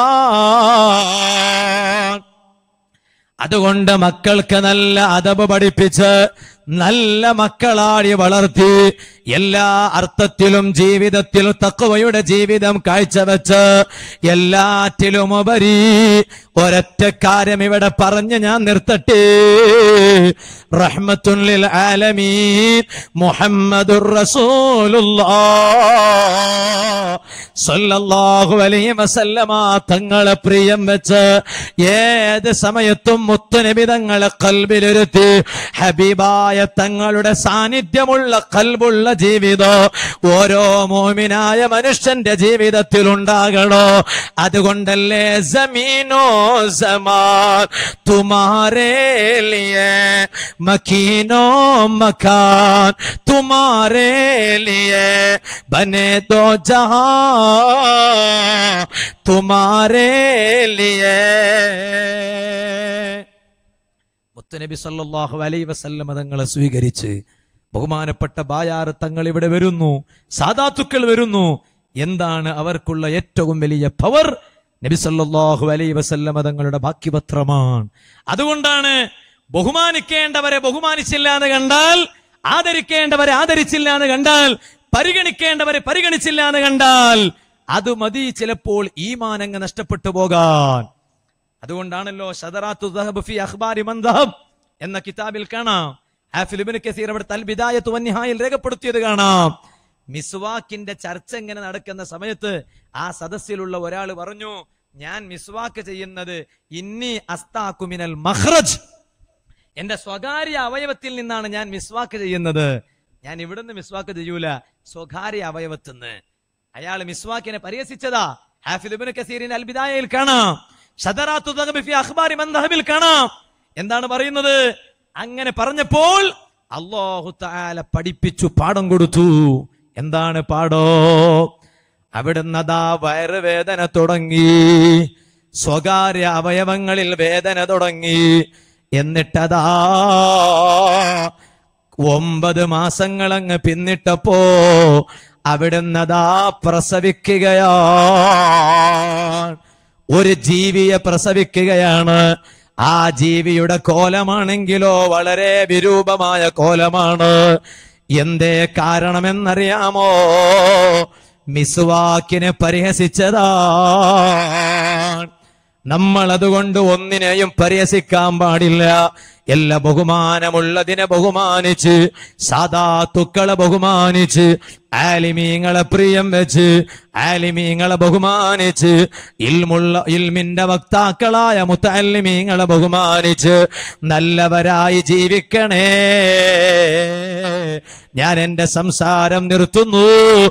ഇമാം ബുഖാരി തങ്ങളെ ചരിത്രത്തിൽ കാണാം. കപ്പലിലൂടെ ഇങ്ങനെ യാത്ര ചെയ്യുകയാണ്. ബുഖാരി ഇമാം കപ്പലിലൂടെ ഇങ്ങനെ യാത്ര ചെയ്യുകയാണ്. കപ്പലിലൂടെ ഇങ്ങനെ യാത്ര ചെയ്യുകയാണ്. ആ യാത്ര ചെയ്യുന്ന സമയത്ത് ബുഖാരി ഇമാമിന്റെ ആ യാത്രയിൽ ഒരു മനുഷ്യൻ കൂടെയുണ്ട്. ബുഖാരി ഇമാമിനോട് വല്ലാത്ത ബന്ധം സ്ഥാപിച്ചു. ബുഖാരി ഇമാം നല്ല മനുഷ്യനാണെന്ന് മനസ്സിലാക്കി ഉള്ള സ്വകാര്യങ്ങളൊക്കെ പറഞ്ഞു കൊടുത്തു. പറഞ്ഞു എന്റെ കവറിൽ ആയിരം സ്വർണ നാണയങ്ങളുണ്ട്. ആ മനുഷ്യൻ രാത്രി കിടന്നുറങ്ങുന്ന സമയത്ത് കരയുകയാണ്. എന്നും തന്നെ എല്ലാവരും ഈ കവറങ്ങ് തെരഞ്ഞു നോക്കാൻ നോക്കുമ്പോൾ തന്റെ തന്റെ സഞ്ചിയിലുള്ള ആയിരം സ്വർണ നാണയങ്ങൾ എടുത്ത് കടലിൽ അങ്ങ് വലിച്ചെറിഞ്ഞു. യാത്ര അവസാനിച്ചപ്പോൾ ഈ മനുഷ്യൻ വന്ന് ചോദിച്ചു എന്തിനാണ് ആയിരം സ്വർണ നാണയങ്ങൾ കടലിലേക്ക് അങ്ങ് വലിച്ചെറിഞ്ഞത് ബുഹാരിമാം പറഞ്ഞു എനിക്കൊരു ഇമേജ് ഉണ്ട് എനിക്കൊരു ക്രെഡിറ്റ് ഉണ്ട് എനിക്കൊരു സ്റ്റാറ്റസ് ഉണ്ട്. സൊഹീബുൽ ബുഖാരിയെ ക്രോഡീകരിച്ചവരാണ് ഞാൻ. ഞാനൊരു കള്ളനാണെന്ന് ജനങ്ങൾ തെറ്റിദ്ധരിച്ചാൽ എന്റെ കൈ കവറിൽ ആയിരം സ്വർണ നാണയം കണ്ടത്. നിങ്ങളതാണ് ഞാൻ കട്ടെടുത്തതാണ് എന്ന് ജനങ്ങൾ തെറ്റിദ്ധരിച്ചാൽ ഞാൻ ക്രോഡീകരിച്ച ഹദീസിന്റെ ഗ്രന്ഥത്തിന് മൂല്യമില്ലാതെയായി പോകും.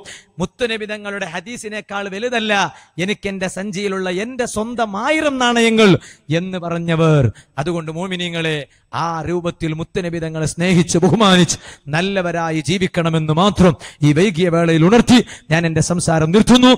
മോമിനിങ്ങളെ തങ്ങളവരുകൾ ഇൻഷാ അല്ലാ നമ്മിലേക്ക് വരികയാണ്. മഹാന്മാരായ സാധാത്തുക്കൾ നമ്മുടെ വേദിയിലേക്ക് വരുന്നു. അള്ളാഹു താല അവർക്കൊക്കെ ആഫിയത്തുള്ള ദീർഘായുസ് നൽകുമാറാവട്ടെ. തങ്ങളവരുകളും ഷെയ്ഖുന ഉസ്താദവരുകളും എല്ലാ മഹാന്മാരും വരുന്നു. അള്ളാഹു അക്ബർ അള്ളാഹു അക്ബർ അള്ളാഹു അക്ബർ. വലില്ലാഹിൽ ഹംദ്.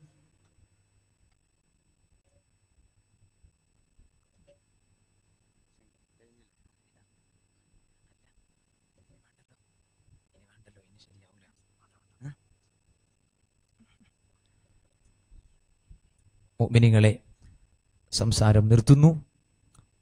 തങ്ങളവരുകളും സാദാത്തുക്കളും ഷെയ്ഹുനയും ധാരാളം ആലിമ്യങ്ങൾ ഉസ്താദുമാർ നമ്മുടെ വേദിയിലുണ്ട്. അള്ളാഹു ആഫിയത്തുള്ള ദീർഘായുസ് നൽകുമാറാവട്ടെ. ഇനി ഇവിടെ സംസാരിക്കാൻ നേരമില്ല. ബഹുമാനപ്പെട്ട തങ്ങളവരുകളുടെ ദുആയും പ്രതീക്ഷിച്ചിട്ടാണ് നാം എല്ലാം ഇവിടെ ഇരിക്കുന്നത്.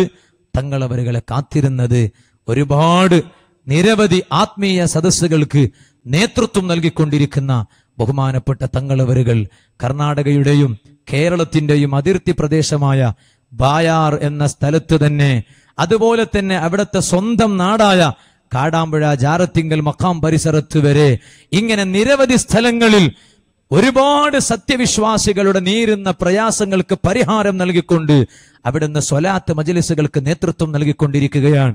വൈദ്യന്മാരെ കൈവിട്ട രോഗങ്ങളാണെങ്കിൽ പോലും ബഹുമാനപ്പെട്ട തങ്ങളവരുകളുടെ അടുത്തേക്ക് വെന്റിലേറ്ററിൽ നിന്നും ഐ സിയുയിൽ നിന്നും നേരിട്ട് കൂട്ടിക്കൊണ്ടുവന്ന് എന്തിനാണ് കൂട്ടിക്കൊണ്ടുവരുന്നത്? തങ്ങളവരുകളിൽ ഒരു മന്ത്രം കിട്ടാൻ വേണ്ടിയാണ്. അവരാണ് ബഹുമാനപ്പെട്ട തങ്ങളവരുകൾ. ഒരു സ്ഥലത്ത് നിങ്ങളൊക്കെ പത്രത്തിൽ വായിച്ചു കാണും. തങ്ങൾ പറഞ്ഞു നാൽപ്പത് ദിവസം ഒരു എണ്ണം പറഞ്ഞിട്ട് പറഞ്ഞു നിങ്ങൾ അന്നേ അന്നത്തെ ദിവസം വരെ യാസ്കാരൻ അതാ തിരിച്ചു വരികയാണ് വീട്ടിലേക്ക്. ഇത് ഒരു അനുഭവമാണ്. ഇങ്ങനെ നൂറുകണക്കിന് അനുഭവങ്ങൾ ആയിരക്കണക്കിന് അനുഭവങ്ങൾ പലർക്കും പറയാനുണ്ട്. അതൊക്കെ അനുഭവിച്ചവരും കണ്ടറിഞ്ഞവരുമാണ് നമ്മിൽപ്പെട്ട പലരും. അള്ളാഹു താല തങ്ങളവരുകൾ ഉൾപ്പെടെയുള്ള നമ്മുടെ എല്ലാ സാധാത്തുക്കൾക്കും ഷെയ്ഖുന ഉസ്താദവരുകൾ ഉൾപ്പെടെയുള്ള ഉസ്താദുമാർക്കും അള്ളാഹുവെ ഈ വേദിയിലുള്ള സർവ ആലിമീങ്ങൾക്കും നീ ആഫിയത്തും ഹിമ്മത്തും ഇസ്സത്തും നീ വർദ്ധിപ്പിക്കണേ റഹ്മാനെ എന്ന് മാത്രം ദുആഗ് ചെയ്ത് ബഹുമാനപ്പെട്ട തങ്ങളവരുകൾ മന്ത്രിച്ച തേന് ഇൻഷാ അള്ളാ ഇവിടുന്ന് വിതരണം ചെയ്യും. നിങ്ങളൊക്കെ നല്ല സംഭാവന ഈ സ്ഥാപനത്തെ ലക്ഷ്യം വെച്ചുകൊണ്ട് കൊടുത്ത് അതൊക്കെ കൈവശപ്പെടുത്തണമെന്ന് ഓർമ്മപ്പെടുത്തുന്നു. ദുആ വസിയത്തോടെ വആഖിറു ദഅ്വാനാ അനിൽ ഹംദുലില്ലാഹി റബ്ബിൽ ആലമീൻ. അതുപോലെ തന്നെ